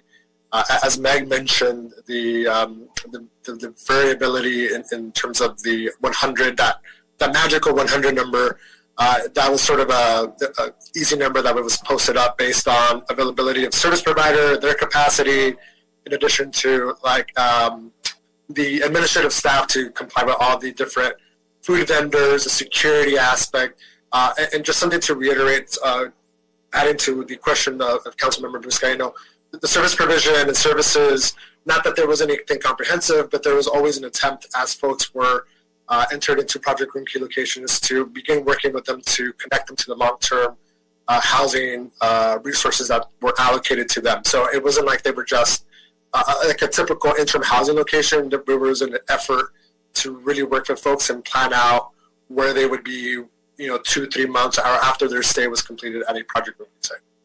Right, because the ultimate goal, while we have the immediate need to house people, it's about the long-term solution of how we place them uh, to keep them housed. And That's so right. we, we can uh, contract with a number of hotels, but that doesn't mean that we also have the service providers and the administration support at this time available to uh, to help do that case management. So, what is the timeline for LAHSA, and what resources have been made available for you all to start hiring uh, to help accommodate and provide for that need? Because now that we know we're going to have the resources to be able to ramp up all these rooms, and I'm, you know, I remain very optimistic about the cooperation to secure these facilities. My bigger concern is that we need that case management and the administration to help better place these individuals into those permanent solutions, either uh, the reunification efforts that, that are ongoing, whatever the circumstances are. And so, what is the process of hiring those folks? Where do your gaps lie, and how quickly are you going to are the service providers in a position to hire up so that we can meet the need for potentially thousands of rooms coming online? That's an excellent question, and those are discussions that um, have been ongoing and trying to really assess uh, and really survey our, our provision or service provider community. As you know, these are the same people, like you mentioned, who are executing on the housing uh, from other programs itself. So uh, any, uh, uh, up ramping of training and to ensure that there's quality in that training and to make sure that the people running these sites um, are meeting the quality and standards that not just LAHSA expects, but the community where these housing locations and these project Roomkey sites are located. These are all things that if, just like anything else, if you rush into it too quickly, um, you begin having problems. And we understand the urgency uh, as this is being an emergent an emergency, but at the same time, we want to balance that out by ensuring that uh, there's a success uh, tied at the at the end of these operations. So to answer your question, those are ongoing discussions. I, I can't give the specific timeline, but those discussions are happening as we speak. And in terms of resources available to fund that, um, those would be eligible through uh, Measure H, correct? Those would be funded. Uh, that would be eligible services covered by H, or is mm. that something that we would have to seek additional resources from the state or the federal government to help us cover those costs. The Measure H does have a small line item allocation for ongoing uh, technical assistance for providers to train them up on a variety of different things, not just the service provision, but also like the back end, front office stuff, finance, and things of that nature. Uh, I would have to go back and really talk to um, lots of internal staff to figure out what kind of resources would be needed to execute on that. Okay, thank you. Mr. Chair. Yes, sir. Lastly, uh, in the spirit of collaboration, um, as I started my comments, I'll be collaborative in, in supporting moving forward on the motion, but do want to make it clear, um, I do um, oppose um, the fourth moving clause moving forward, but I understand that's going to come back to us. Um, Just want to be, be on the record for that. Uh, clear enough, uh, Mr. We thank you for your, uh, collaboration, uh, solidaridad siempre. Okay, now, let's see if we can't, uh, move forward. Are there other comments to be set forth on item number five? Seeing none? uh, I'm Madam sorry. Clerk? I'm sorry? Please, go right ahead. I I just was saying we could also, you know, uh, if you wanted to, uh, Mr. Buscaino, to include, um, uh, you know, as we consult uh, with members, we could also consult with hotel operators to see how the program could be made better so that more people of that Yes. 30,000 take it up. Yes. You know, I think that would be That's a useful uh, amendment. Mhm. Yep. We'll, we'll take that as an amendment to uh, the motion as it has been submitted. Uh, Any other uh, questions or comments uh, on item number five? Ms. Raman moves. Mr. Buscaino uh, seconds. And uh, the matter is before us, Madam uh, Clerk, as amended. Please call the roll. Mr. Chair, um, uh, Councilmember Ridley Thomas, Chair. Sorry? Councilmember Ridley Thomas. Oh, thank you. Uh, aye, as amended. Councilmember De Leon. Aye. Councilmember Buscaino. Aye. Councilmember Rodriguez. Aye. Councilmember, Council- Councilmember Raman. Aye. Sorry. All right, and forthwith to the council, uh, Madam Clerk, um, uh, would be the request. And, um, Madam Clerk, I understand that there's some other uh, cleanup items you wish to call to the attention of the chair. Yes, Mr. Is Chair. Yes, Mr. Chair, for um, the items on the consent calendar, I just want to make a couple of clarifications. Um, At the, at the request of the CLA, for items two, three, and four, um, the action taken by the committee, excuse me, is to adopt the recommendations in the CAO report, noting that items two and three have revised resolutions, and uh, the committee is also receiving and filing the um, HCID-LA reports on those items, sir. Um, In addition, for item number seven, um, I just wanted to gain clarification that the intention of the committee is to um, concur with the, with the Information Technology and General Services Committee's action um, as they amended the motion. And finally, for item number 11, um, the committee's action is to adopt the draft ordinance submitted by the um, city attorney as to form and legality. And that concludes the clarifications. Uh, those, and those clarifications are appropriate, consistent with the committee's uh, wishes. Uh, Anything more to come before us at this point in time, members of the, of the committee, Madam Clerk, Madam City Attorney, CCLA? Seeing none, we thank you uh, for your attendance. It's now 1 o'clock, uh, and we stand adjourned. marathon. Bye. You haven't seen anything?